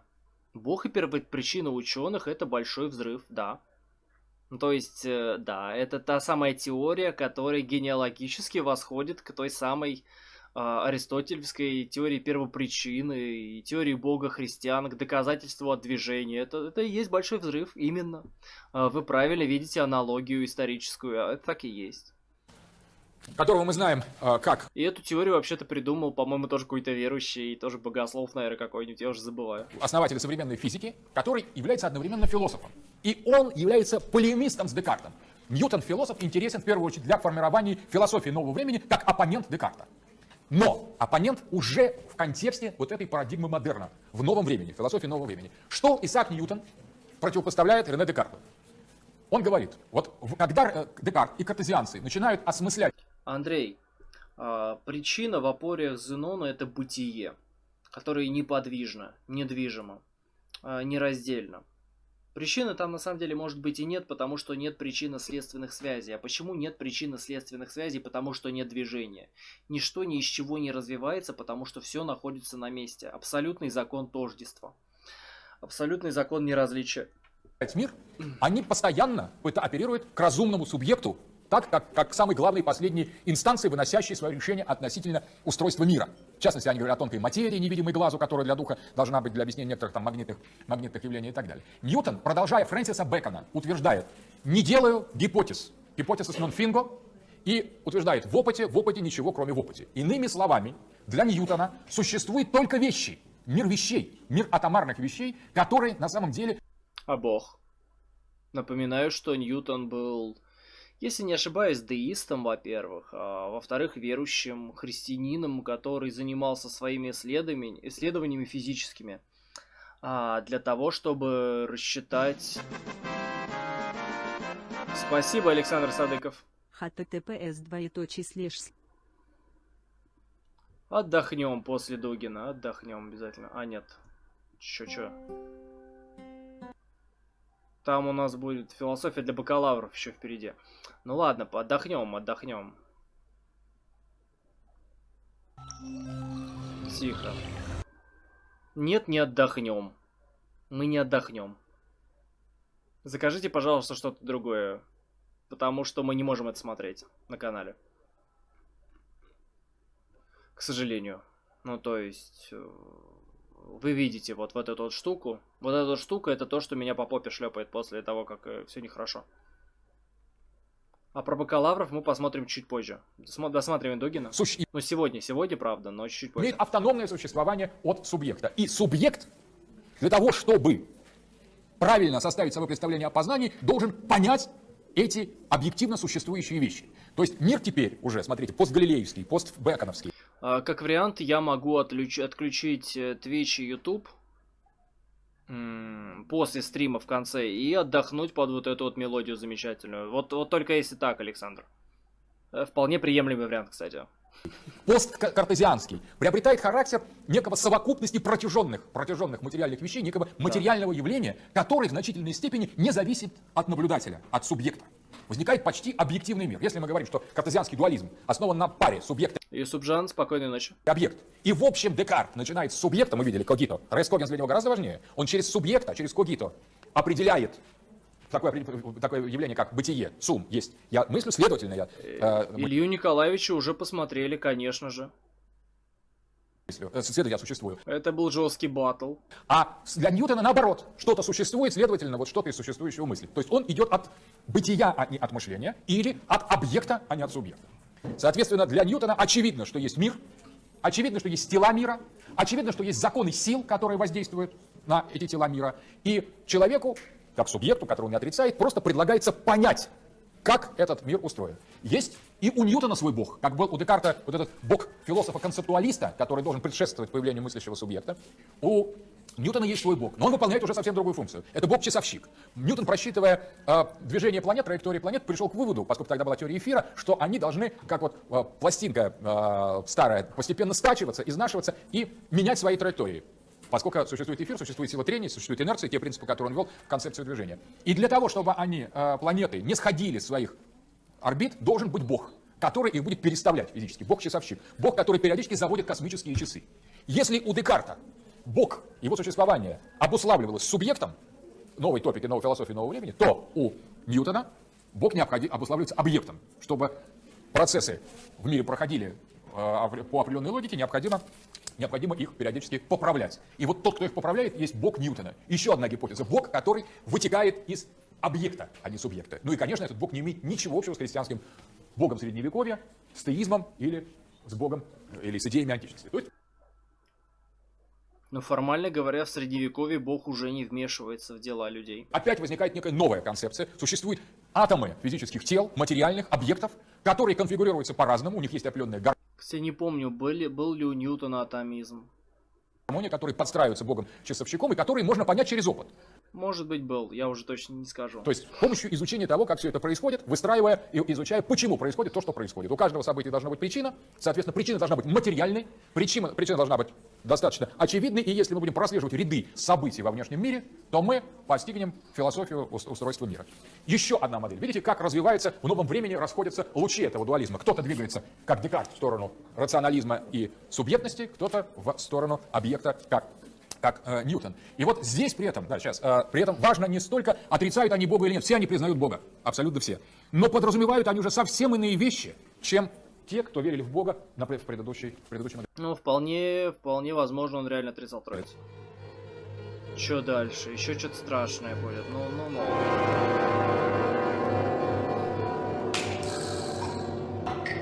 Философия для бакалавров идет 14 минут. Но там мы смотрим со второй минуты, и надо посмотреть. https двоеточие слеш слеш Окей. Стас, вот видео, как Кубер О, Стас. Значит, посмотрим еще и Стаса. Вместо мелодии, окей. Супер. Спасибо большое, Александра. Большое спасибо вообще, друзья, всем, кто нам сегодня закладывает прям денежки. Это замечательно. Я себя чувствую настоящим убер-маргиналом. Я получил, кажется, повышение недавно, да, после стрима с убер-маргиналом, и я теперь получаю приемлемо. А, Ньютон был оккультистом, ему э, было пох в науке. Ну, он странный был, но не пох. Э, У кого Ньютон мог позаимствовать свои идеи? Но он находился в контексте своей эпохи, он довольно-таки обычный мыслитель в, в этом контексте. Напоминаю, что теория импульса, которая в итоге оказалась в э, теоретической системе Ньютона, она взята из теории импетуса в средние века, которая возникла, и которую развивал тот самый знаменитый э, Роджер Бекон, о котором я часто говорю. Теперь давайте посмотрим. Блэс Паскаль. 1623-1662. Очень крупный философ, французский, который начинает с оптимизма относительно нового времени и выступает как модернист, а потом обнаруживает очень интересную вещь. Относительно его очень известная его формула из, э, из его мыслей «мыслящий тростник», о том, что человек — это мыслящий тростник. То есть начиная с идеи того, что необходимо двинуться вперед, В 32 раза больше, я плак-плак просто пла- плачу. вперед, триумфально утверждаю космос нового времени, философию нового времени, вдруг Блэс Паскаль говорит, мне очень одиноко Куда ускорить? Мы и так ускорили Дугина на максимум, друзья. в этом мире, который э, скрывается. То есть мы так быстро разбиваем э, идеальные миры, и вдруг в этом изотропном Александр, там еще одно видео, кстати, перед этим, поэтому, ну, можете закинуть, чтобы в два раза быстрее было. Просто тут 7 минут вы закинули на сколько? Ну, поменьше, в общем. Можете еще 70 рублей закинуть и норм. космосе Галилея, в этом материальном космосе Ньютона, окруженная этим рес экстенса, бессмысленными просторами холодной материи, я как кусочек носитель духа, носитель мышления, говорит Блэс Паскаль, Ну, Стаса мы и так ускорим. А может быть и нет, там 7 минут всего-то. Там уже под конец будет, друзья. я хожу между безднами. Это какой-то крайне такой мрачный, в мрачном положении оказался. И многие экзистенциалисты позже, в 20 веке, к нему апеллировали, Блэзу Паскалю. Чем он интересен? Потому что, в принципе, это некоторый э, признак того, что философы, мысля в, в рамках нового времени, начинают чувствовать какую-то проблему, неуютно. Если Декарт, он с удовольствием занимается своим сомнением. Если Ньютон радостно открывает новые законы, свойственные самому, самому физическому миру, эмпирически, то Блэс Паскаль дает нам, это абсолютно философ нового времени. Это крупнейший философ нового времени. Но он одним из первых замечает о том, что вот эта мыслящая точка гигантской бесконечной вселенной, оказавшаяся, по сути дела, случайно в этом, в этом мире, без всякой логики, без всякой связи с идеями, с, идеями, с проведением, с Богом, без всякого качественного космоса, что ей чрезвычайно грустно быть так. Так возникает философский пессимизм. То есть в новом времени, в этой картине, помимо радостных, неспровергательных Мне одиноко, мне грустно. Помните видео в самом начале? Вот она. писателей старого, есть еще грустящие новые, такие новые грустные, такие как Блэс Паскаль, которые видят, что, э, вот как он пишет, пространство Вселенной поглощает меня как точку. Мысли же я, я мысли, Но здесь он правильно просто пересказывает Паскаля, насколько я помню, поэтому я ничего не, не говорю. Мыслью же я объемлю все. То есть идея того, что как физическое тело, он теряется в этой Вселенной, одновременно его интеллектуальные претензии огромные, и между ними в этом дуализме картезианском, субъект, объект, экстенса, Чем Стас интересен зрителям тем, что он матерится? складывается драматическое противостояние. Это драматический дуализм субъекта и объекта. А, Тем, что Стас эмоционально, ну, в общем-то, неполноценен, он на всех агрится, он очень злой и агрессивный человек в целом такой, но он очень импульсивен, вот. Его легко разозлить, и в интернете это чревато. В интернете это реально очень чревато, ввиду того, что, ну, все, конец Стасу. А, так или иначе, взаимодействие с радикализмом, а, дуаль- дуальным э, радикализмом Декарта возникает философия Бенедикта Спинозы. Да. У Паскаля был бог, но это был бог личный, бог, которым, к которому обращается вот этот затерянный, затерянный человек для того, чтобы индивидуально спастись как раз от этого мира, который построил Галилей. Тоже есть. Он, он религиозный философ. Вначале, кстати, он э, даже сомневался в этом боге, а потом его находит как моральное утешение за это э, экс- экстра э, периферийное положение во Вселенной. Нет, нет, как, как некое спасение, как горизонт, который позволяет вынести этот ужас того мира, который возник. Теперь Бенедикт Спи- Спиноза. Это совершенно специальный взгляд на мир, который утверждает, что Бог находится не в, не, а, в трансцендентном измерении, не до мира, а внутри мира. Спиноза не является большим новатором, э, но то его философия сама по себе не является новаторской, так скажем. А То, как он пытается доказать эту философию, вот что новаторство.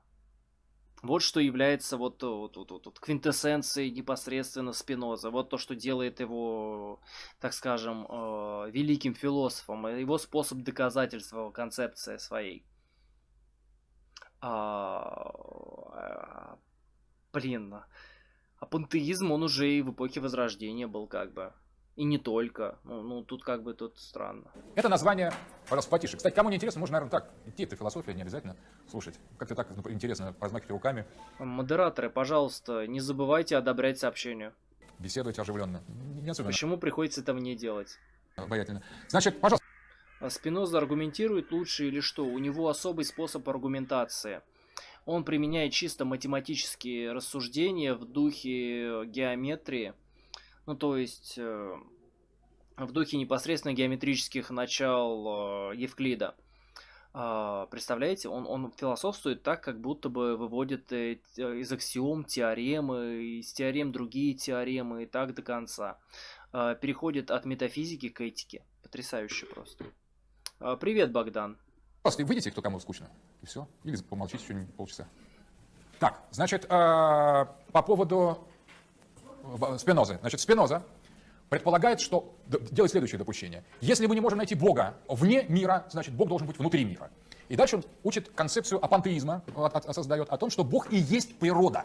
Что не надо противоставлять, противопоставлять средневековье мир и его Творца, и Ну, платонизм не пантеизм. или мир феноменальный, как у Платона в античности, и мир идеальный. Есть только один мир, и он есть Бог, говорит Спиноза. Поэтому существует только природа, которая разумна. С точки зрения Спинозы, он говорит, что разумен и субъект, и объект в равной мере.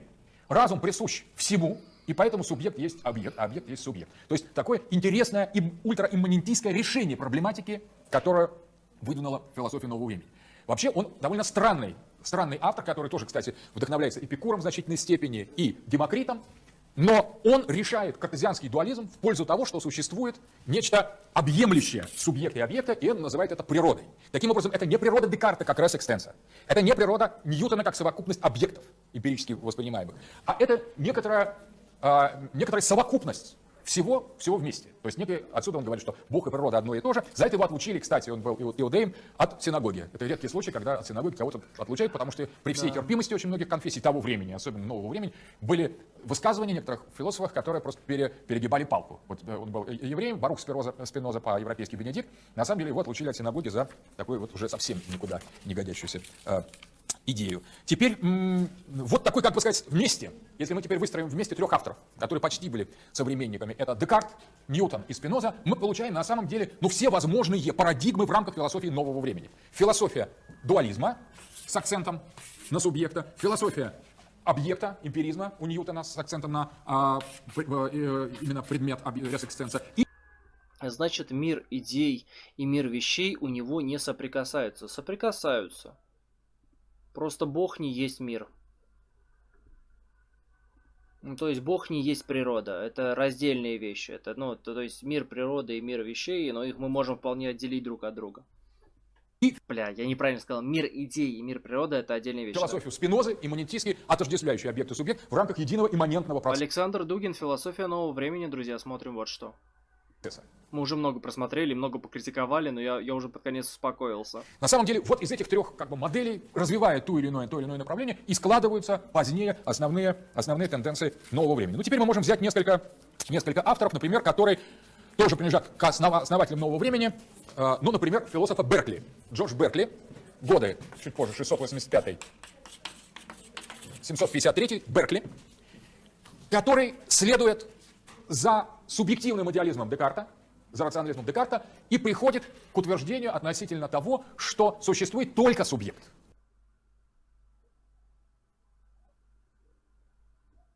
А дуализм из орфизма вышел.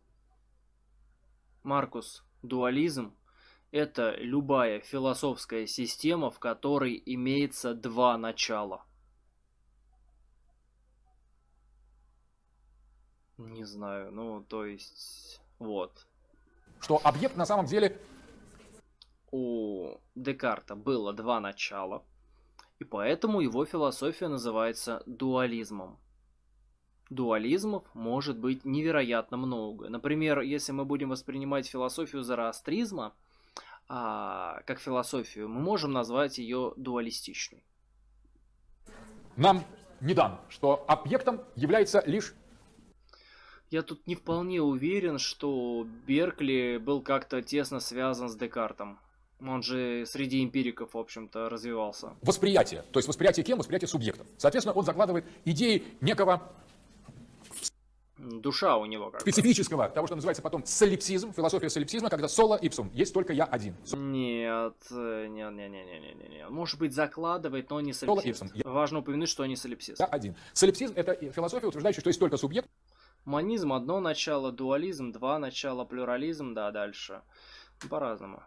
и ничего другого нет. А Ну, типа, орфизм э, начал э, вводить дуализм раньше, ну, может быть. Ну, какая разница? Ну, Тут вообще, в принципе, не важно, кто кому предшествовал и, и что и откуда вышло. То есть, э, дуализм может быть достигнут независимо друг от друга. А внешний мир, объект, не существует, кроме как в нашем восприятии. Да, Есть только верно. то, что воспринимается. Это главная, Да. главная формула Беркли. Таким образом, мы видим развитие крайнего субъективного идеализма как одну из возможностей философии нового времени. По сути дела, несмотря на, на то, что здесь вообще не признается объект как самостоятельное явление, это укладывается в философию нового времени. Поскольку ничего общего ни с Богом-творцом мира, схоластики средневековой, ни с объективно существующими идеями, которые предшествуют индивидууму, у Беркли нет. Смотрите, совсем другая идея. Это мы полностью в новом времени. Казалось бы, идеализм, казалось бы, нет внешнего мира. Но на самом деле мы в современности, мы в модерне.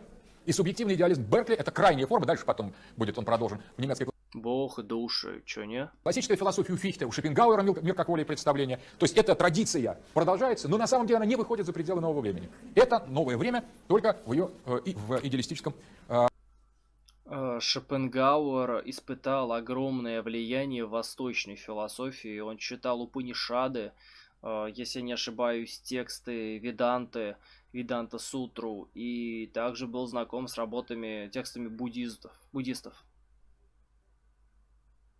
Это чистое новое время, конечно же, бесспорно. Вообще абсолютно новое время. оформлении. Скептицистское направление философии Дэвид Юм, 1711-1776.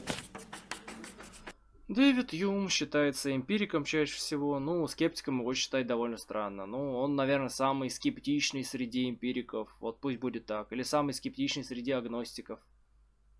Александр, с какими формальными дисциплинами ты знаком? В смысле формальными, Богдан? В каком смысле вы употребляете это Дэвид слово? Юм, английский философ, который на вопрос, существует ли внешний мир, отвечает «не знаю». Потому что все достоверное, что мы можем сказать о внешнем мире, это на самом деле не что иное, как Но это не главный тезис его философии в целом. Он просто приходит к нему в итоге, ну окей. рефлексия за нашими, за нашими чувствами. Это другая версия. Ощущениями.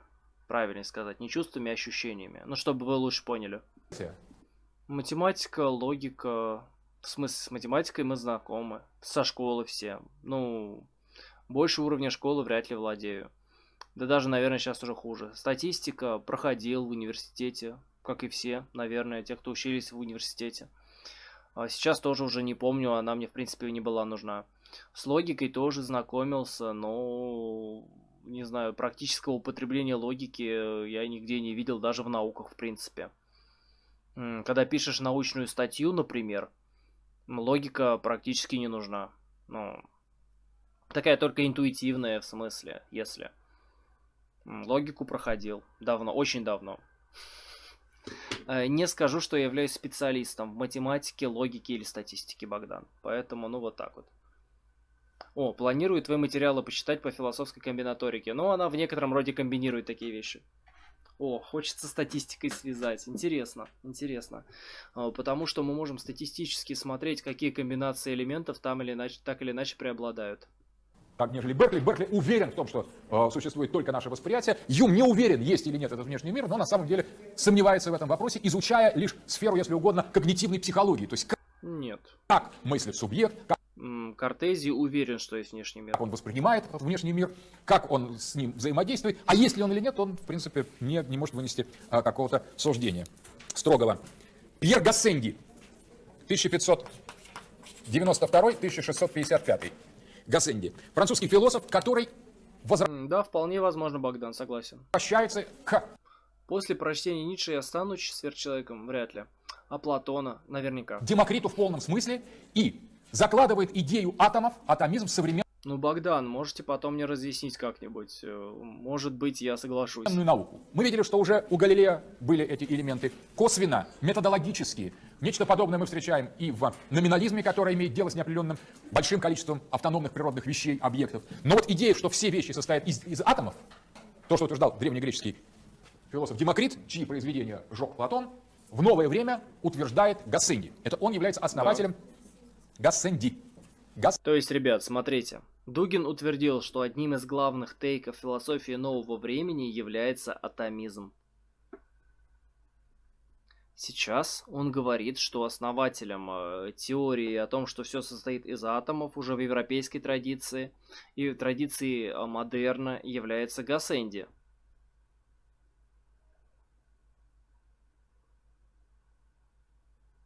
Судя по всему, все мыслители до этого не считали, что мир состоит из атомов. Интересно. Основная черта, характерная вроде бы для большинства философов нового времени, внезапно оказывается как бы не основной чертой. Как так происходит? По логике самой же лекции. Очень интересно. Гассенди. Пьер Гассенди. Соответственно, опять идея, что нет никакой А где был батл с Дугиным? Демокрит перевернулся в гробу. Может быть. А, так, кто, по-твоему, сверхчеловек? Ежи Сармат. а, предзаданности, нет никакого, никакой цели у предметов, существует игра причин атомов. Атомы со- составляют вещество, и, естественно, продолжатель традиции ам, Демокрита Эпикур, который также относился к социальной реальности с атомистским элементом, является одним из излюбленных авторов Гассенди. Гассенди утверждает атомизм в качестве базового отношения э, взгляда на современную науку, на устройство вещества. Сегодня мы уверены, что э, ве- вещи существуют, состоят из частиц, из атомов, из микрочастиц, которые еще мельче. Так на самом деле вот все это развитие принципа философии Демокрита, введенного в науку нового времени, в картину нового времени, Га, Гассенди. Еще один очень интересный а, философ, Джон Лок, 1632 1704 Так он Карланы еще и слабый. А кто сказал, что он должен быть сильным э, ритором? А, Лок известен в философии по нескольким. Он, основ... во-первых, основатель либерализма философского и, и идеолог либерализма. Лок спорит, базовый спор Лока, он спорит с Гоббсом относительно природы человека. А с точки зрения Гоббса, человек плох, эгоистичен и требует э, управления и сдерживания. С точки зрения Лока, человек нейтрален. То есть человека можно сделать хорошим или плохим. Отсюда идея табула раса. С точки зрения Лока, чистая доска табула раса – это концепт Лока, что человек есть то, что на нем пишет общество или культура.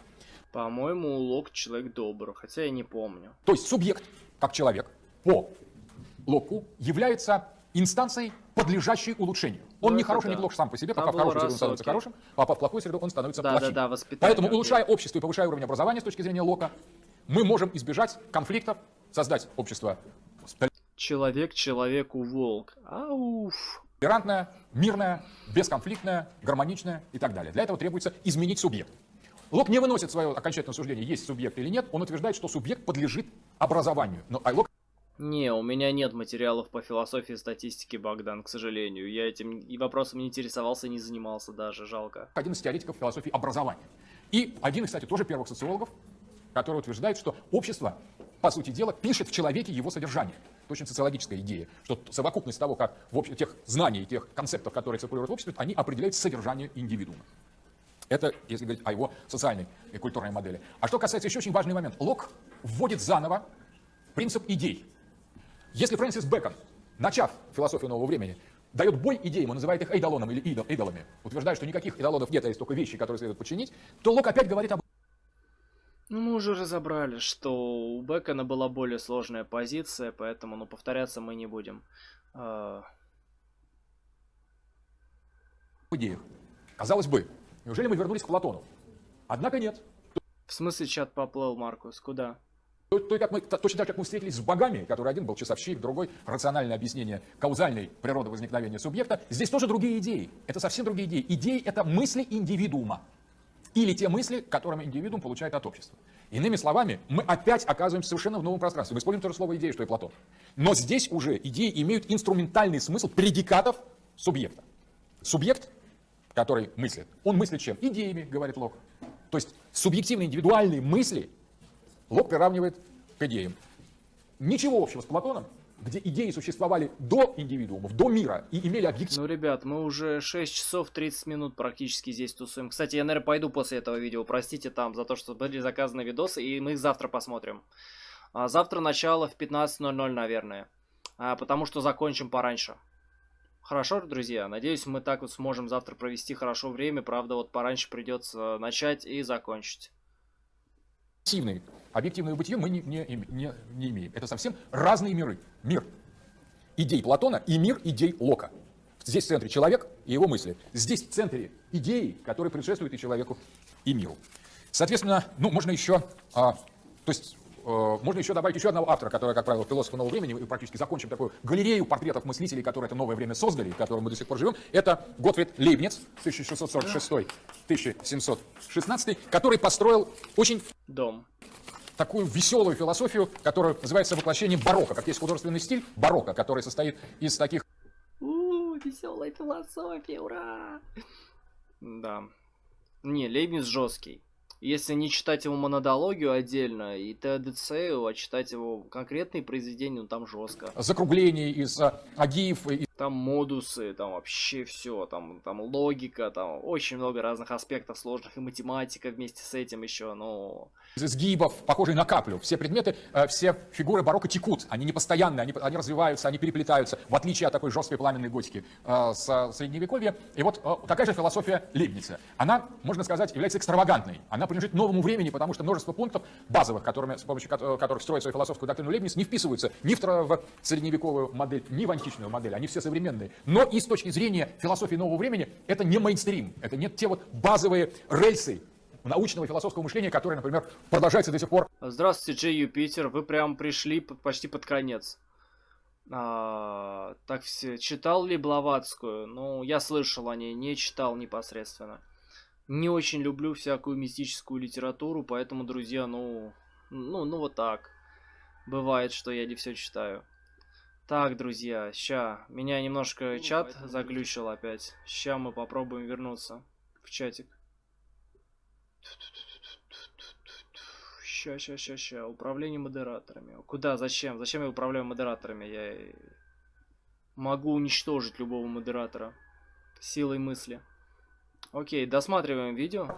по линии Ньютона или Декарта. Декарт, Ньютон, Бекон, Гассенди, они просто существуют, там, Гоббс и Лок в социальной, э, в социальной науке, они существуют сегодня практически так же, нетронуто, как а, были в начале в- в жизни, в 17 в конце 16 в 17 18 веках. Вообще, на самом деле, в некоторых своих аспектах базовая философия нового времени сохранила свою хватку до нашего времени. Мы продукты нового времени, и вот эти авторы, они продолжаются сегодня в полной мере. А, конечно, Лейбниц, хотя он основатель дифферен- э, дифференциальных, теории дифференциальных вычислений, и он создатель современной математики, вот идея интеграла, идея, идея дифференциала, идея предела, лимита, это лейбницевские э, кон- концепты, поэтому на самом деле он предопределил математический аппарат современный, до Лейбница эти вещи были не, э, не- совершенно не столь очевидны, но его философия, она представляет С интегралами вроде еще Ньютон тоже постарался, там спор был такой. собой совершенно уникальную, экстравагантную смесь между какими-то мотивами традиционного, традиционного мышления и современности. современности. Но основная идея а, э, э, Лейбница – это идея, что все существует из монад, все монадично.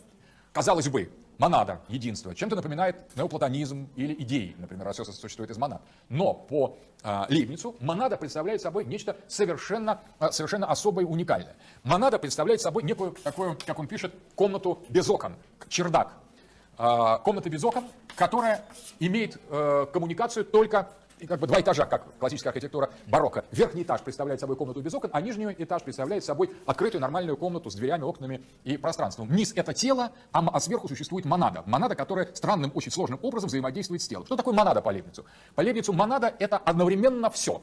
То есть это не душа, не идея, не дух, не субъект, а это некая почти математическая таблица, где одновременно существуют все формы сочетаний, все знания. То есть монада заведомо несет в себе абсолютно все. То есть потенциально это некая таблица, в которой заложены все возможные, а, все возможные мысли, все возможные переживания, все возможные знания. То есть это некая тотальность, но тотальность с точки зрения субъектного понимания, всемудрость. Однако эта монада имеет в каждом конкретном случае, в каждом конкретном человеке только несколько активированных элементов. То есть человек есть активация нескольких элементов каждой из этих монад. Первая монада является Богом, и у Бога все, эта часть, все его содержание актуально открыто. То есть он поэтому все мудрый, все знающий, все вечный. Это такой кибербог, математический бог Лейбница, бог монада, который все содержание монад активированы. А в других монадах, которые находятся ниже Бога, активированы лишь какие-то части, отдельные элементы. Все вместе они составляют мир. То есть, по сути дела, совокупность этих монад, монад распол- располагается таким образом, что все вместе со своими зажженными такими высвеченными фрагментами, потенциально, хотя они содержат в себе все содержание всего Бога, они на самом деле выс- высвечивают лишь какие-то фрагменты и строятся друг по другу. Есть монады ангелы, монады люди, монады бесы, монады, монады животные, которые составляют такие вот полуреализованные части вот этого глобального плана, который реализован в Боге в виде предустановленной гармонии. И вот так устроен монадический Блин, а, черт, ребят, ладно, после этого видео я точно иду спать, меня уже рубит как бы. Мир Лейбница. А, Лейбниц не пантеист. Монадист. У каждой монады есть свое тело, свой нижний этаж.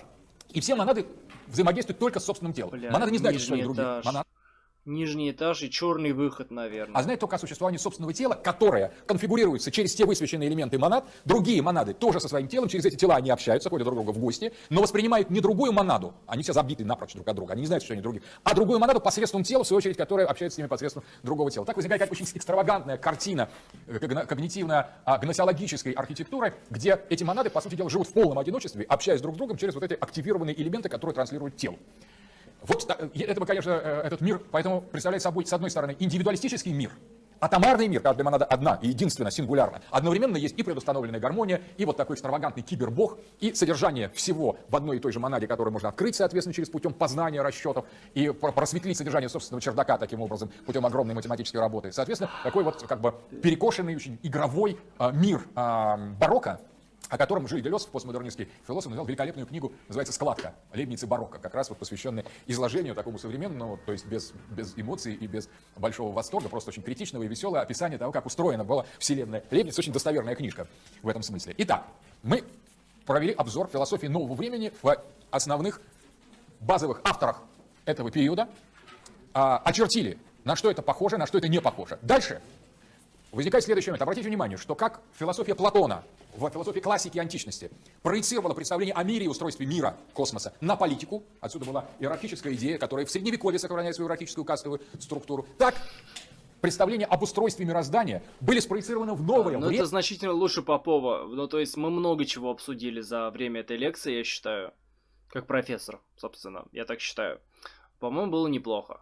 на социальные Ну, под конец я уже, да, я уже сплю, я уже киваю носом, я пропускаю тейки даже некоторые. и политические, политические модели. То есть, если здесь мы имели строго установленную гармонию, которая оправдывала иерархическое общество, то в новое время мы вступаем в эпоху демократии.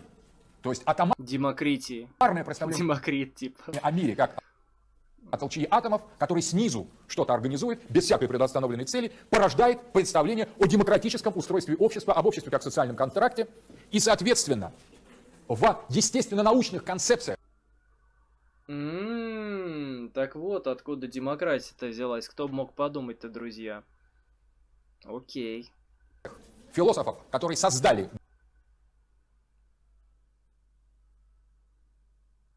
базовую топику нового времени, мы видим, на самом деле, основы социальной философии, политических Ну, не совсем. систем, демократии, толерантности, прав человека, А, это все ради пропаганды было. Окей, хорошо. Представление об индивидуальной свободе, представление о а, либерализме как праве индивидуума двигаться в каком угодно направлении без какой бы то ни было сверх А где переход от атомизма к демократии? Плюс ко всему, где переход от философии нового времени к тому, что там доминировала концепция атомизма вообще? В принципе. Переход к, фило- к философии атомизма вообще, ну, он, он существовал, но как бы он не был показан нам. проявленной жесткой цели. Иными словами, в новое время на философско-естественно-научном уровне были воссозданы предпосылки того общества, его культуры, его науки, его политических институтов, его ценностных систем, в котором мы живем. Поэтому вот э, то, что называется legacy, то есть наследие философов, ранних философов модерна, является чрезвычайно важным, действенным, актуальным вплоть до нынешнего момента. И поэтому вот эти авторы, о которых мы говорили, которые сегодня, конечно, выглядят чрезвычайно архаическими и устарелыми, если читать их непосредственно, Устаревшими. то в своих в развитии их идей и базовых траекторий они сохраняют все свое значение, все свое величие, всю свою фундаментальность. Они создали мир, в котором мы все еще живем. Все. Ну чё, браво, да. Столько ошибок за лекцию сделать, это, конечно, да, надо постараться. Да. А, Спасибо, Шадов. Теперь мы знаем больше Дугина о философии нового времени. Ну, может, он подкачался с тех времен. Это, судя по всему, очень старая лекция. Это май 2012 года. Это только выложено здесь. Возможно, это еще более старая.